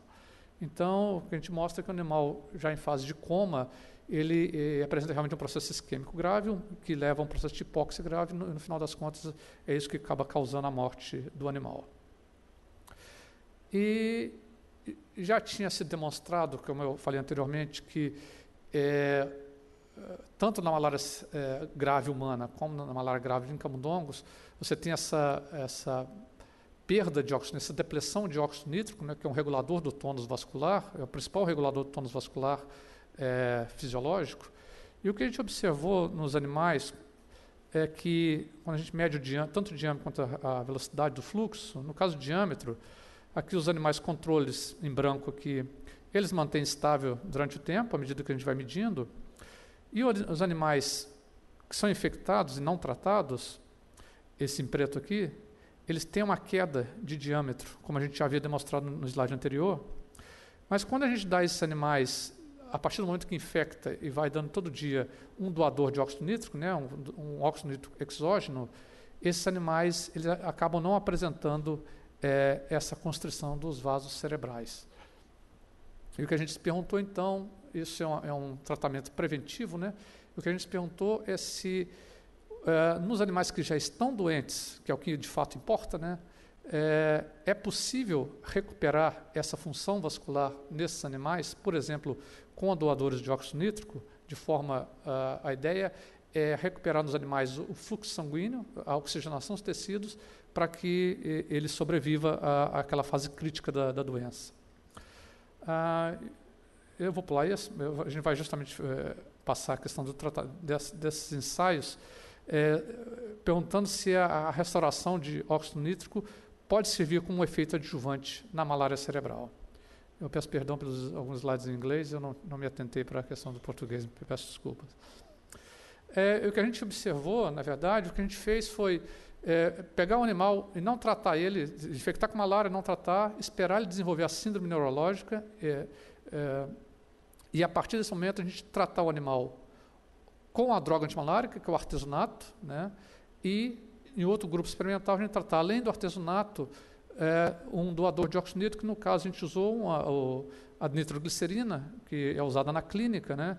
É, a gente fez uma, uma administração uh, através de, de, de, tipo band-aid que você coloca na pele, né? Esqueci como fala isso, transdermal, um delivery transdermal. É, e o que a gente observou, de novo aqui, medindo os diâmetros dos vasos cerebrais desses animais, é, em relação ao tempo zero, esses animais então apresentam uma, uma queda de diâmetro, né, um processo de vasoconstrição. Aqui, é, nesses riscados aqui, são animais que, é, que, não, que têm malária cerebral. Então, à medida que você começa a medir, ele vai agravando o processo de constrição com o tempo. Se você administra só o artesunato, que é esse, na verdade, esse aqui, o artesanato, esse, esse primeiro aqui. O animal não tratado, esse daqui, ele acaba morrendo é, até 24 horas. O tratado com artesanato, alguns animais sobrevivem, mas você vê que ele não reverte a constrição, ele continua agravando o processo de constrição.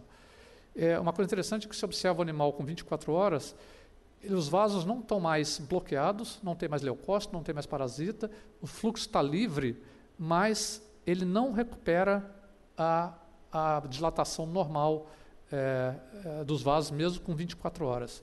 Ao passo que quando você dá o artesanato juntamente, que é o pretinho aqui, você dá o artesanato juntamente com a nitroglicerina, ele já em três horas já recupera o, o diâmetro, né, dilatando inclusive um pouco, e essa dilatação ela permanece durante o tempo de administração das drogas. Então, ele aparentemente tem esse efeito de atuar na questão do tônus vascular, recuperando o tônus vascular. E, e é, uma coisa interessante que a nitroglicerina, obviamente, é um vasodilatador, é por isso mesmo que a gente está usando, mas, obviamente, você tem que ter a precaução de usar esse tipo de, situação, que você pode causar hipotensão. De fato, se você observa a pressão arterial no animal normal, quando você administra a nitroglicerina, aqui nesse caso, ele tem uma queda de pressão arterial de torno de 15%. Os animais que estão doentes já estão com hipotensão, mas a administração de, de nitroglicerina não causa uma piora desse quadro e eles se recuperam normalmente como os outros. O mais importante, é claro, é que esse fenômeno, esse fenômeno de você restaurar o tônus vascular, como mostrado aqui, né, ele também se reflete numa sobrevida maior desses animais em relação àqueles animais que foram tratados apenas com artesanato. Então, é um efeito é, sobre a vasculatura que tem uma consequência, quer dizer, obviamente pode ter outros efeitos que a gente não está medindo, mas que tem um efeito na sobrevida do animal, como terapia adjuvante.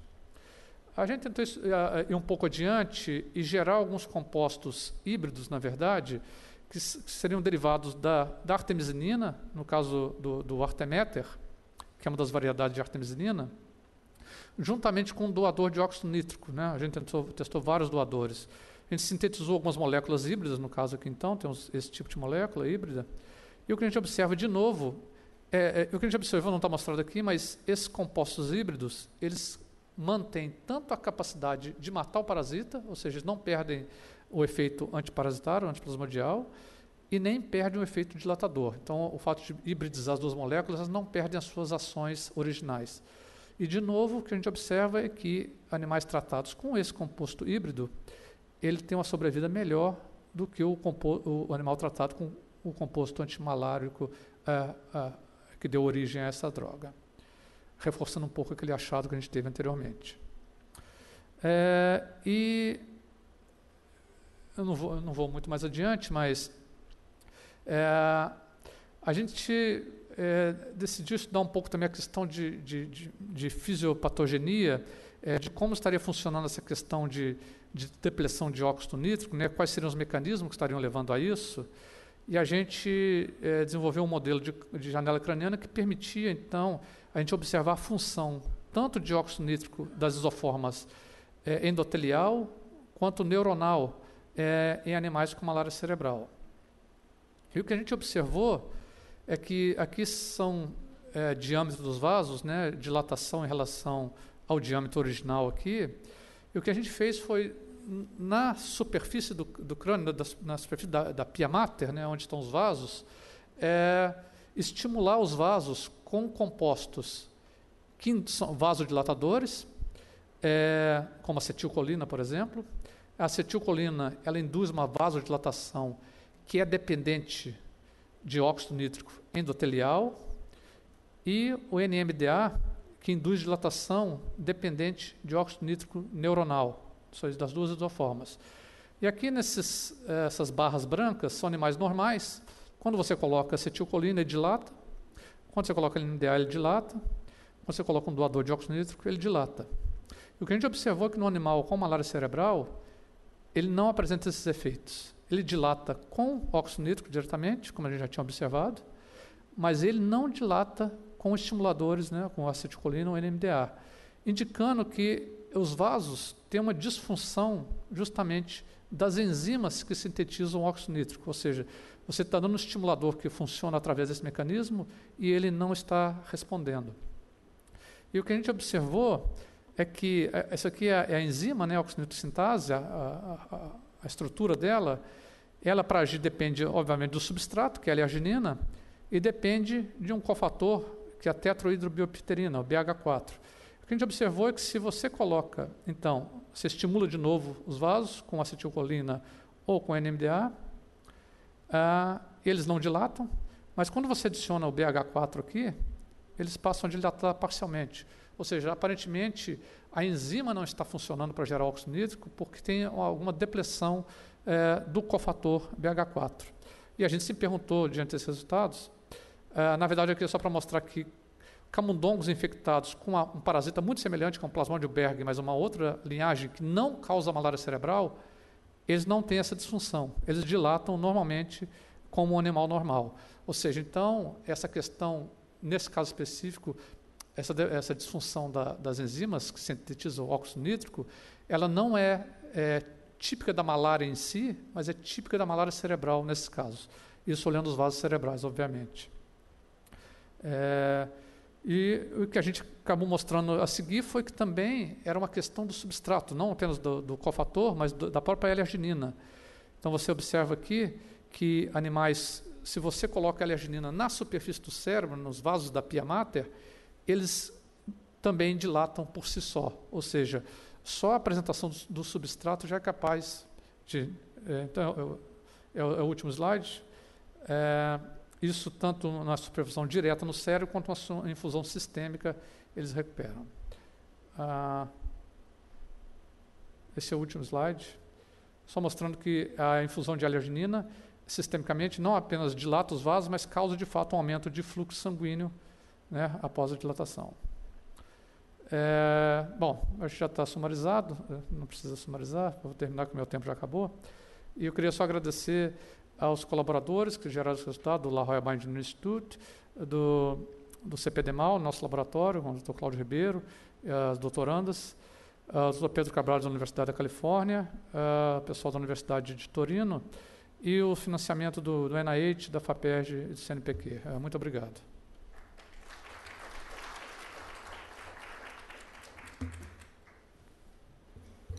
Léo, então se junte a nós e a gente pode abrir então para algumas perguntas dos acadêmicos. Eu antes queria, eu tinha prometido ao confrade Carlos Alberto Mandarim de Lacerda de comentar, eu estava dizendo que tinha prometido a você comentar um pouquinho sobre o anúncio que nós recebemos recentemente de uma vacina, na verdade a única vacina em testes atualmente para malária, que vai ser testada num ensaio grande que visa é, alcançar 360 mil é, crianças em três países, é, Malawi, Gana e Quênia. É, na verdade, essa vacina, eu costumo dizer, de forma, eu admito, um pouquinho crítica, até se não cáustica, que se ela fosse brasileira ou colombiana, ela não estaria onde essa está. Essa vacina é uma vacina que tem como componente principal um antígeno que é um antígeno do esporozoito, portanto é um antígeno da forma infectante do plasmódio, aquela que é injetada com mosquito. Então ela teve bastante apoio da Fundação Bill e Melinda Gates e todos os estudos que visavam estudar o impacto de vacinas com esse componente foram bastante apoiados. A justificativa é que, como objetivo era a eliminação, estaríamos mais próximos se a vacina fosse uma vacina que impedisse a infecção e não uma vacina que impedisse a doença ou que agisse em formas sanguíneas, que é decorrente já, vamos dizer, pós-infecção.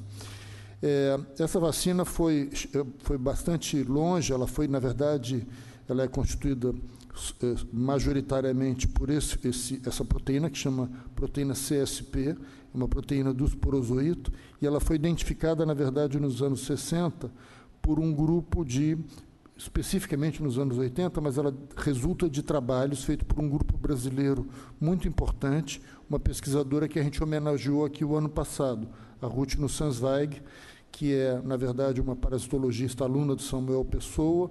Ela e o marido migraram para os Estados Unidos é, em algum momento dos anos é, pós 60, 70, e desenvolveram um trabalho muito importante com a identificação dessa proteína, e primeiro com anticorpos monoclonais, depois com proteínas recombinantes e vacinas sintéticas, estudos em modelos experimentais, e vários grupos se juntaram a esse, esse trabalho dela e é, mostraram que ele de fato era uma proteína bastante imunogênica, mas que talvez não fosse a mais importante como, como indutor de resposta protetora.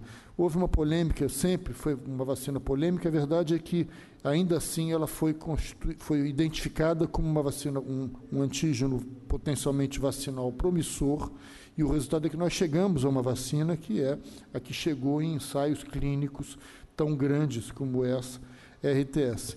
Ela protege, na verdade, entre 30% e 40%. É, e o foco principal são crianças, porque a gente mostrou, e Cristiana também, que existe uma estimativa de que por volta de 435 mil mortos por ano ocorram, é, e que dessas mortes, cerca de 250 mil ou mais concernam crianças. Então, o foco principal é crianças. Então, esse, o objetivo desse trabalho vai ser testar a capacidade protetiva, é um ensaio muito grande, como eu disse, com 350, 360 mil crianças nesses três países, mas não mais tarde do que ontem eu tive acesso a um outro trabalho, Mandarim, que acabou de sair num jornal que é o Human Vaccines and Immunotherapeutics, é, e que estudou, na verdade, 8.922 crianças e 6.537 lactentes de é, é, 2009 a 2014 que receberam essas vacinas. E eu não vou dar os detalhes, mas os resultados visavam a análise da segurança da vacina. E os, os, os efeitos é, secundários, inclusive graves, não são nada alentadores, não são nada é, não, não, transmitem segurança e as conclusões são bastante restritivas é, quanto à necessidade de to se tomar muito cuidado quanto aos efeitos secundários graves dessa vacina. Então, eu acho que é, é, o, a grande argumentação, ela tem apoio de todas as agências que querem financiar é, uma vacina para usar em, em, larga escala como essa, é, e a, a, grande argumentação, que é uma argumentação difícil de se contrapor, é que a, a faixa etária mais vulnerável aos efeitos devastadores da malária são as crianças e que, portanto, uma vacina que proteja três em cada dez crianças que tenham malária e salve a vida delas é uma vacina que vale a pena ser utilizada. Então, é, é uma questão a se pensar com todos os, os, os, os aspectos secundários, políticos, financeiros que a gente sabe que é, entram em jogo numa decisão desse, dessa importância. Então, dito isso, e cumprida minha promessa, Mandarim, eu abriria para perguntas pr primeiro dos acadêmicos e comentários. Carlos Alberto Mandarim de Lacerda.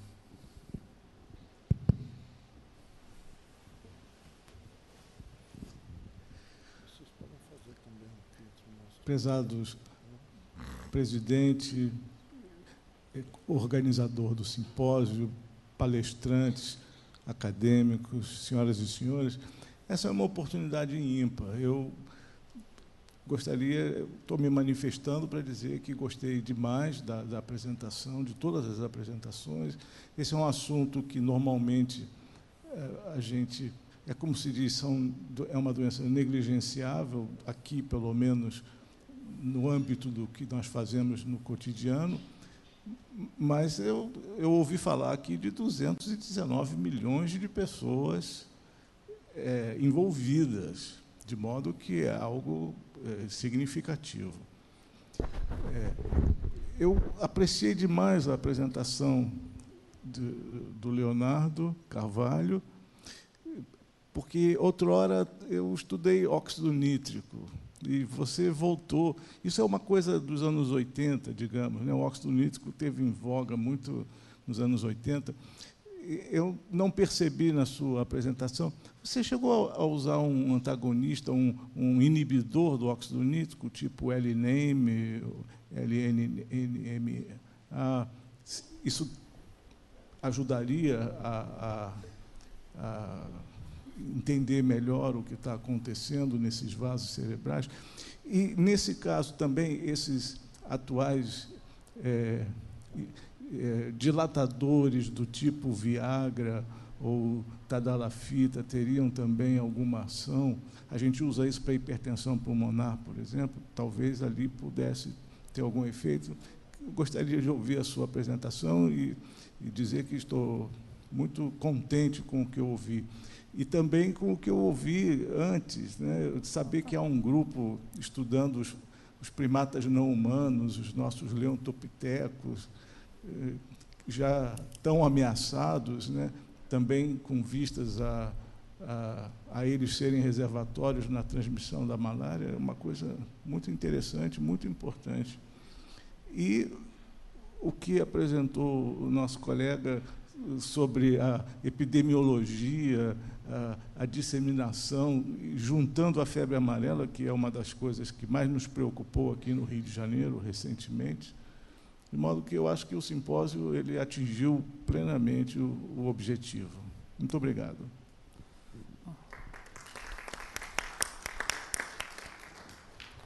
É, senhor que agradeço, professor. É, é, na verdade, o Oxford teve muito em voga, né, foi, acabou sendo descrito em 89, né, já vinha sendo pesquisado, acabou sendo descrito de fato em 89, acabou dando o prêmio Nobel para o descobridor. Né. É, a, a, a, gente não uh, tem usado inibidores porque, na verdade, tem alguns experimentos que a gente faz, um, um dos que eu mostrei, inclusive, a gente usa, mas muito mais para mostrar que aquele, de fato, é um mecanismo animal normal, do que no outro, porque o que está acontecendo é que a gente está querendo induzir a produção de, de óxido nítrico. E os animais apresentam uma, uma baixa produção. Então, é, tem muitos ensaios que, se ao por exemplo, se você quer, por exemplo, inibir o processo inflamatório de produção, aí você vai usar os inibidores. A gente tem usado muitos inibidores para ensaios de mecanismo. É, por exemplo, a gente usa é, tanto em vivo, quanto mostrei ali, quanto in vitro, em sistemas de, de que a gente isola a artéria, é, justamente para ver se o vaso está respondendo adequadamente ou não. E a gente usa alguns inibidores, é, como LNAM, LMMA, como o senhor citou aí. Na questão do, do Viagra, a gente fez alguns experimentos com, com o sildenafil, é, só que a gente fez apenas experimentos de tentativa de prevenção do quadro, e ele não funciona como, preven como preventivo.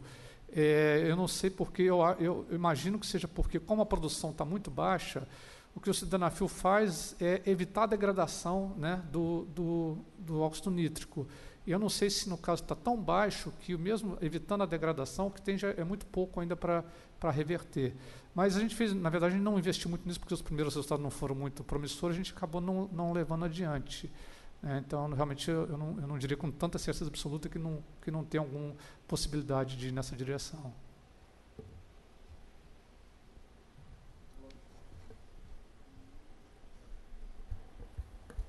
É, quanto aos os macacos, não é? é? A chegada da febre amarela aqui no Rio de Janeiro, onde tem ah, algumas espécies endêmicas, como por exemplo o Lontopithecus rosalia, o mico-leão dourado, que só existe na natureza aqui no nosso estado e algumas outras espécies desse grupo. Embora para a malária, ainda não sabemos exatamente o papel desses calitriquídeos como reservatórios, como fonte de infecção, na febre amarela eles, eles são. E eu acho que teve menos de 5 eh, micro-leões dourados que morreram nesse, nesses episodias que tiveram, em comparação com numerosos calitriquídeos ou, ou bugios. Então, uh, mediante essa situação, a Fiocruz, acho que é um dos maiores produtores de, de vacinas de febre amarela no mundo. 80%, chega a ser 80% em alguns momentos, do que é usado no mundo de vacina de febre amarela sai da Fiocruz. Então, está sendo feito um teste de vacinação desses animais. Então, o Centro de Primatologia do Rio de Janeiro, onde trabalhou, tem trabalhado bastante nossos colegas, ele tem vacinado desde o mês de dezembro, janeiro deste ano agora, do ano que passou, desculpe. Esse ano agora já fez, alguns grupos já fizeram seis meses, oito meses, e eles estão apresentando anticorpo. Primeiro, doses, como é que um, como é que vão utilizar a mesma quantidade, porque o vírus é um vírus atenuado, atenuado para nós, mas podia ser que no macaco neotropical isso acontecesse com mortalidade. Então foi feito com um pequeno grupo, depois se expandiu, então já tem um número grande de animais sendo vacinados e está estudando também outras vias de vacinação, para não ter que vacinar o animal por injeção, talvez oral, enfim, mas de modo que está avançando é, esse aspecto. É importante assinalar na febre amarela também que os macacos da África, a febre amarela é uma infecção que veio da África, não é? bem, isso está bem estabelecido, veio da África provavelmente com tráfico negreiro e chegou no litoral, foi uma doença urbana como a dengue, chikungunya hoje é, que depois passou a ser uma doença eh, também, digamos, uma infecção também de transmissão silvestre. Né? Não tem mais a transmissão urbana, mas tem a transmissão silvestre que nós estamos sofrendo. Os animais, os primatas não humanos africanos, aparentemente não sofrem, ou pelo menos não morrem de febre amarela, sofrem muito pouco.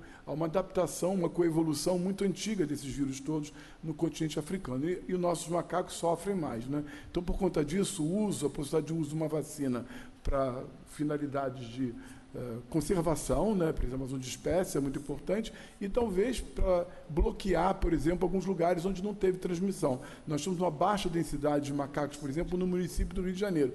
Macacos, que eu digo, fontes de infecção, digamos, para febre amarela, fora os, os, os miquinhos. Mas então poderíamos bloquear um pouco a transmissão se conseguirmos vacinar os animais por algumas vias. O, o, o ruim dessa história é que os animais passam a não ser mais sentinelas com a sua mortalidade de que está acontecendo a febre amarela. Obrigado. Acadêmico. Gerson Canedo. Ah, Omar da Rosa Gerson Canedo. Magalhães. Algum tempo eu fiz, eu participei de, uma, de um simpósio nos Estados Unidos sobre doenças infecciosas e chamava atenção a uma das pessoas que participaram, a importância do exame de fundo de olho, isso que acabou de dizer. A importância do fundo de olho na malária, que é coisa muito, muitas vezes negligenciada, mas tem importância enorme.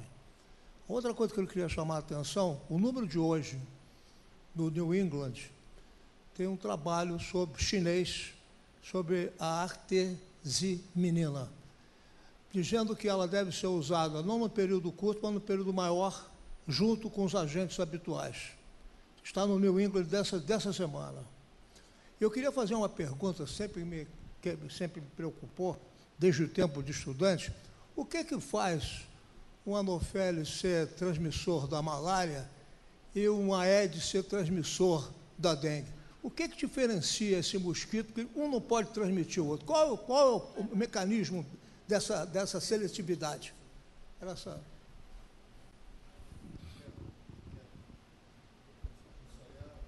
É.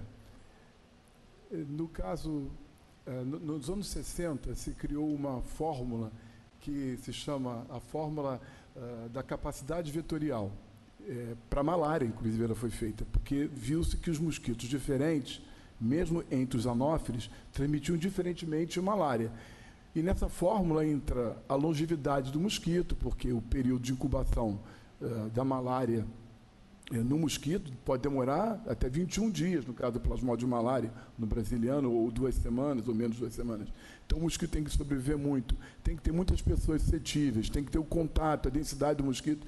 E nessa fórmula também entra um outro componente que o nome é parecido, não é capacidade vetorial, mas é competência vetorial. O que é competência vetorial? É a capacidade do inseto se infectar e depois transmitir, e nesse período de transmissão biológica, de desenvolvimento dele e percurso no corpo dele, ele conseguia encontrar é, ambientes receptores para penetrar, para replicar e condições, digamos, é, que, que a defesa do inseto não destrua. Então, tem anófeles, quando a gente fala anófeles transmitir a malária, tem anófeles que eh, são alimentados com sangue de alguém que está com malária ou de um animal que está com malária, e os parasitos quase todos morrem na primeira fase de desenvolvimento no estômago. Então, é uma reação é, imune importante, e há questões também que não são inatas, que são questões moleculares de falta de receptores. Né? Então, o que acontece? Tem plasmódios, por exemplo, plasmódios de aves, portanto, malária de aves, são transmitidos por Aedes. Mas as malárias todas de mamíferos são transmitidas por anófeles. Então houve coevolução e adaptação é, desses parasitos nesses diferentes vetores é, e que são inatas, intrínsecas. E também são, no caso, algumas espécies se infectam, mas depois não conseguem mais transmitir, porque durante esse percurso a resposta imune, hoje está muito bem estudada a resposta imune de invertebrados, que ela vai acabar diminuindo a infecção ou então debelando a infecção. Não sei se eu consegui responder em parte. É um pouco longo o negócio. Soromar da Rosa Santos. Senhor presidente, senhores acadêmicos, senhores expositores e convidados. É, me marcou muito a visão desse diapositivo com as lesões de fundo de olho Eu não sei se há trabalhos com fundoscopia evolutiva que mostrem eh, se essas lesões são reversíveis ou se elas caminham para lesões mais graves na, na retina. Se isso se dá, eu indago se será possível o que se faz hoje com essas substâncias antiangiogênicas, a vacina, etc., injetadas no, no globo ocular, na, se isso seria eventualmente possível no caso. Segunda questão, uma coisa de pouco mais de 50 anos atrás, eu ingressei, fui, fui localizado, fui classificado para ser médico do Hospital de Isolamento, Hospital Francisco de Castro, que não sei se os senhores chegaram a conhecê-lo, que tratava de doenças infecciosas do Rio de Janeiro todo, centenas de leitos infantis e de adultos, etc. E eu me lembro de alguns, eu sempre tive uma certa simpatia pelas enfermidades renais e lidei com elas. Tenho poucos casos de insuficiência renal aguda por malária, mas tenho alguns acompanhados. E os primeiros foram exatamente ali quando vinham eventualmente enfermos de outros estados e foram descritas inicialmente, isso talvez no início dos anos 60, 70, bem no início, as, eh, os casos de malária no, no, no, nas, nas, florestas aqui próximas da cidade. Né? E então me lembro bem que, é, me lembro de alguns diapositivos de, da revista Journal of Clinical Investigation, que nós víamos os parasitos eh, e as, as hemácias verdadeiramente atarrachadas no endotélio, obstruindo, fazendo aquilo que se vê no fundo de olho, etc. E o tratamento que nós fazíamos, na época me ensinou o doutor Raimundo, Alfredo Raimundo Mata Botelho da Silva, Bocão, muito amigo nosso lá do, do Hospital Pedro Ernesto, a tratar com antimaláricos endovenosos. Eu já andei falando isso, o Cláudio me disse que isso não existia. Existe sim, eu fiz. Eu acho que era primaquina. Se não me engano, era primaquina. Se não era primaquina, era um outro, eu esqueci qual era. Mas nós aplicávamos é, é, é, infusões endovenosas e que melhoravam substancialmente é, a situação a reversão da insuficiência renal aguda não é impossível, é relativamente fácil, é só substituir por diálise algum tempo e, e tratar a malária. Então, parabéns pelas exposições e muito obrigado.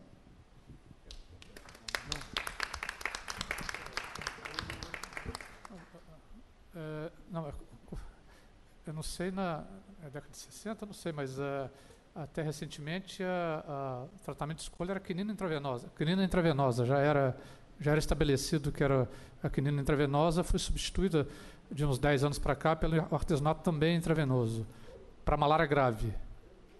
Artesanato intravenoso. Mas era quinina intravenosa antes. Né?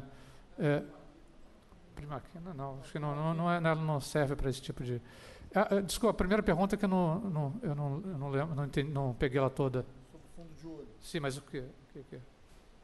Fundo de olho, a lesão de fundo de olho, se ela é reversível ou se ela progride. É, não, acho que ela é reversível. Eu, eu não sei se casos muito graves, ela, ela é, depois de tratamentos, porque pode ter alguns tipos de sequela a malária cerebral. Cegueira pode ser uma das sequelas, talvez por causa disso, mas geralmente é reversível quando consegue. Ah, do, do antimalárico?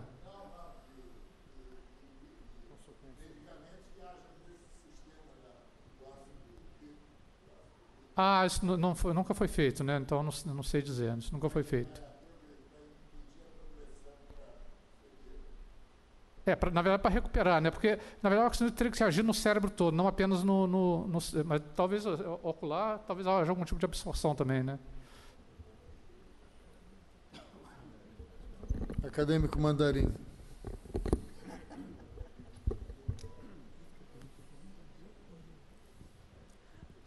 Fui forçado a pedir a palavra mais uma vez, porque depois da pergunta sobre o fundo de olho na malária, o nosso confrade Walterzinho, orgulhosíssimo, me mostrou aqui que no volume do Lancet de 2019, agora de fevereiro, volume 19, a filha dele publicou um artigo sobre fundo de olho na malária. Então eu disse a ele, eu, eu vou pedir a palavra para dizer isso, porque o assunto está em voga aqui e o Lancet é o Lancet. É, ela, ela, eu não li o artigo, estou apenas com a. Ele está mostrando as lesões e feito o diagnóstico através do exame de fundo de olho. De modo que fui forçado. É, é, é, o, o, exame de fundo de olho tem, tem sido usado de uns tempos para cá, de uns 15, 20, 10 anos para cá, é, é, inclusive para fazer diagnóstico diferencial de malária, pra, de malária cerebral especificamente, porque tem algumas características muito típicas do, do, do fundo de olho de, de, malária cerebral, diferenciado de outros tipos de coma. Né? Então, ele tem sido muito utilizado para fazer o diagnóstico diferencial e, e, saber se o tratamento tem que ser a, aquele mesmo. Eu não sei exatamente qual a abordagem dela, mas tem, tem vários papers já é, descrevendo o uso da. da, da e, e também para estudo de patogenia.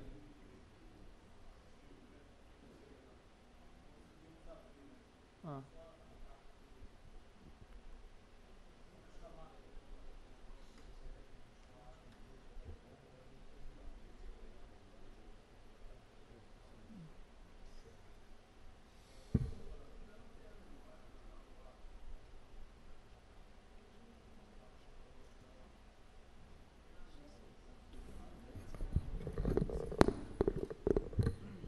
É, o, eu, na verdade, quando o, o, acadêmico Gerson pediu a palavra, eu, eu perguntei ao Leonardo se eu não estava me confundindo com a imagem de, com a montagem da imagem de microscopia é, intravital com o fundo de olho. Né?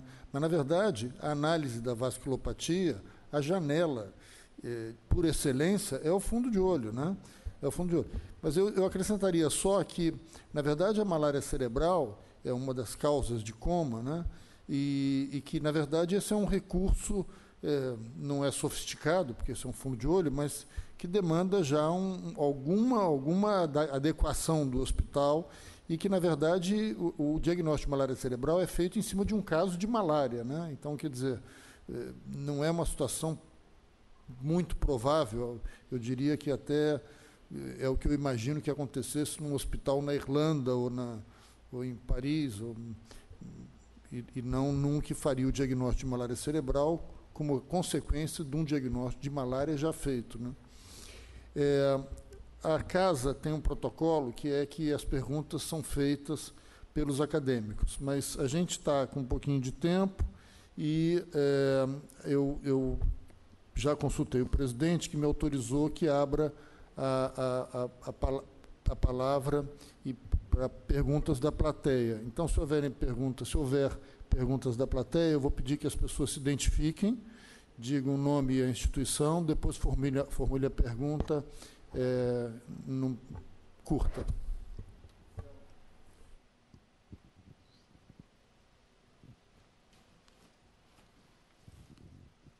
Boa tarde, eu sou a professora Selma Sabrá, da Universidade do Grande Rio, da Universidade Federal Fluminense, e sou membro titular da Academia de Medicina do Rio de Janeiro.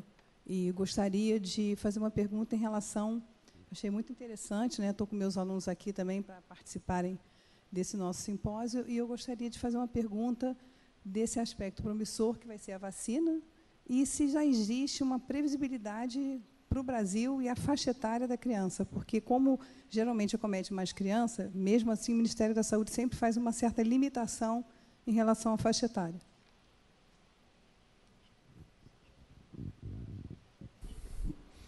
A vacina, ela na verdade está em teste em alguns países. Esse é o maior estudo que vai ser feito, esse que envolve, vai envolver 360 mil crianças.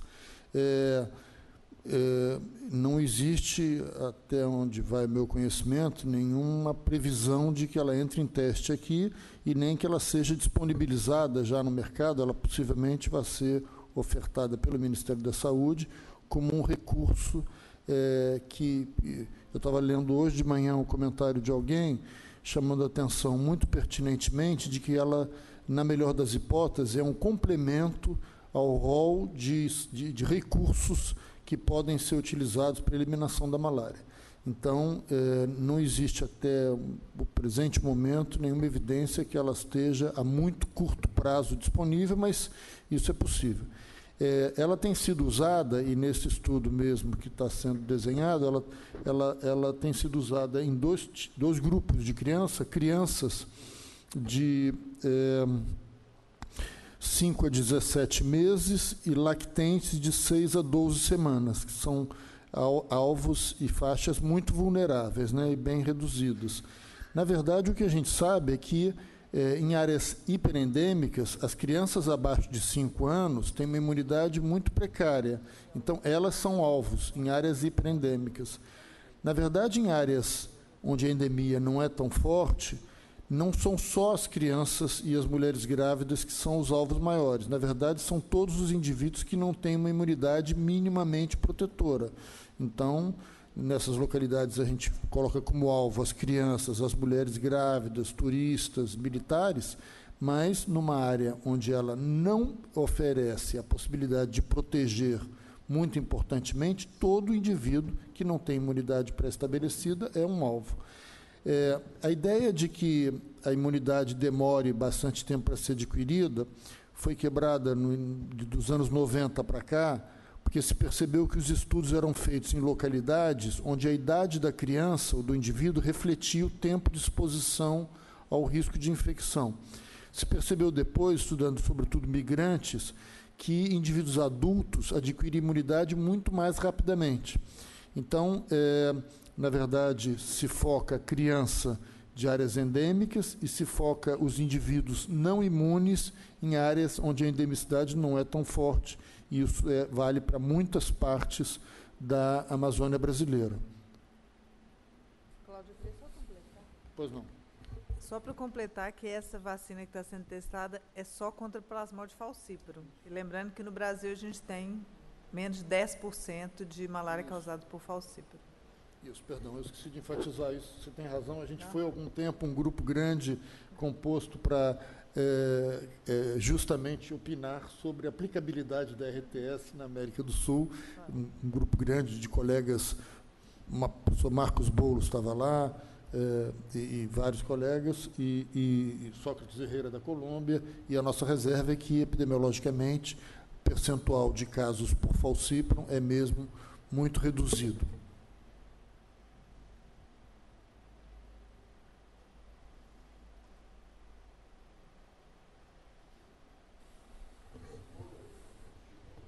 Estimula a pergunta.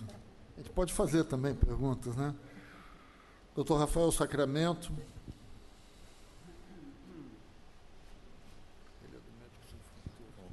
É, muito boa tarde. Para mim é um enorme prazer estar aqui e daqui a pouco vocês vão ver eu falar sobre Médicos Sem Fronteiras. Bom, para não avançar então na minha fala, eu vou aproveitar essa oportunidade para fazer um comentário sobre o fundo de olho. Nós eu, tava, eu nessa época em Moçambique, é, final de 2009, a gente viu uma grande epidemia de malária num lugar onde já é endêmico e era interessante porque nós usávamos o fundo de olho para ver malária cerebral. Nós não tínhamos ressonância magnética, tomografia, então fora os aspectos clínicos, a gente usava o fundo de olho para ver o que estava acontecendo no sistema nervoso central. E algo que eu costumava dizer é que enquanto os olhos são a janela da alma, o fundo de olho é a janela para o sistema nervoso central. Então, ainda hoje a gente usa esse artifício lá, e é interessante porque alguns médicos se surpreendem, porque nós fazemos o fundo de olho tanto para o aspecto de ver as consequências do HIV, toxoplasmose e outras coisas, mas também a malária. Então, essas contribuições continuam servindo para que nós, no terreno, em contextos remotos, usemos esse tipo de recurso muito mais profundamente do que nós usaríamos em ambientes com maiores recursos. Né? Então, fico agradecido, mais uma vez, pela oportunidade de estar aqui e principalmente por esse tipo de contribuição técnica que permite que nós, no terreno, façamos o nosso trabalho com um pouco mais de qualidade. Então, mais uma vez, muito obrigado.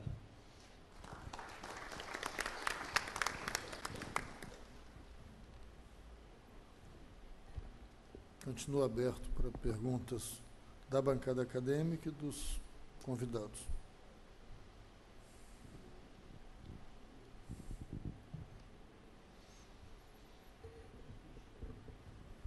Posso fazer uma pergunta ao, ao professor Ricardo Lourenço? É, eu, algum tempo atrás, Ricardo, a gente, você colocou cronologicamente o final da, da, do, do, surto né, epidêmico de malária de 2015, 2016 é, e o início da, do, do, do, surto epidêmico de febre amarela.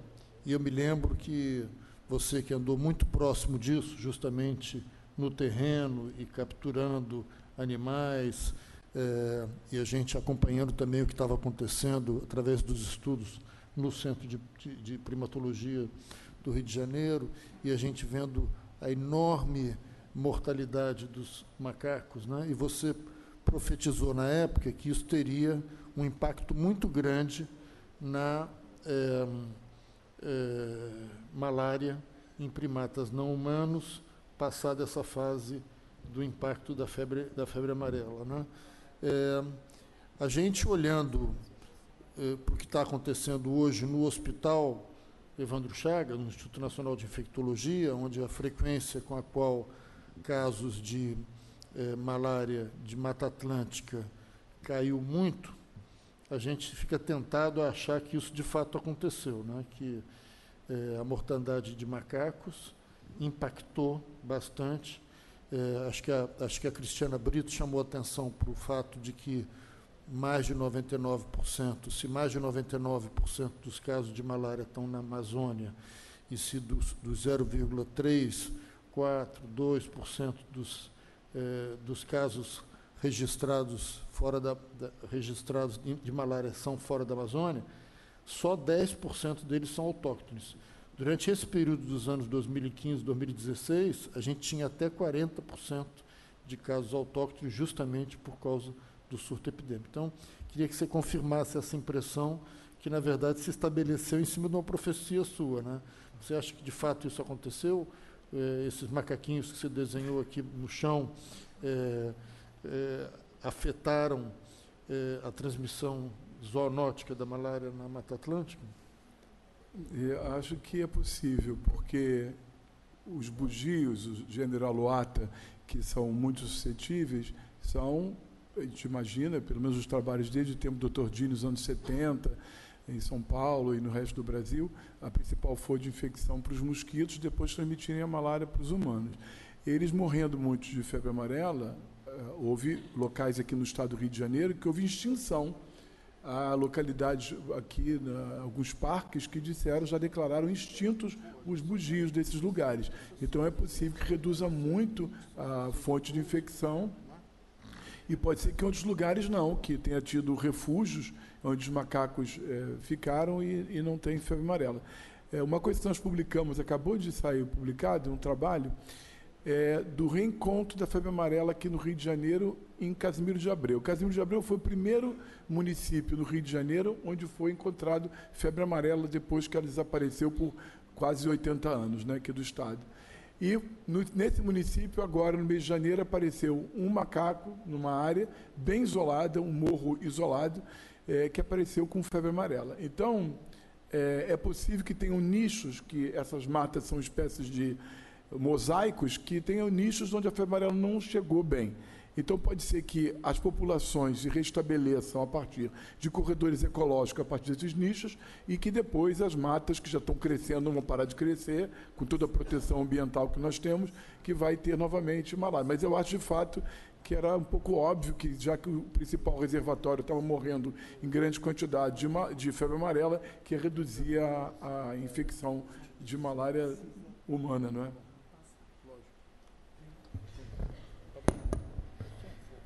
Eu quero parabenizar o acadêmico Cláudio Tadeu Daniel Ribeiro pela organização desse belíssimo simpósio, que vai continuar hoje, mais tarde, após o chá acadêmico, com mais duas apresentações. Quero também parabenizar os apresentadores da tarde de hoje, a doutora Cristiana de Brito, o doutor Ricardo de Oliveira e o doutor Leonardo Carvalho pelas excelentes apresentações.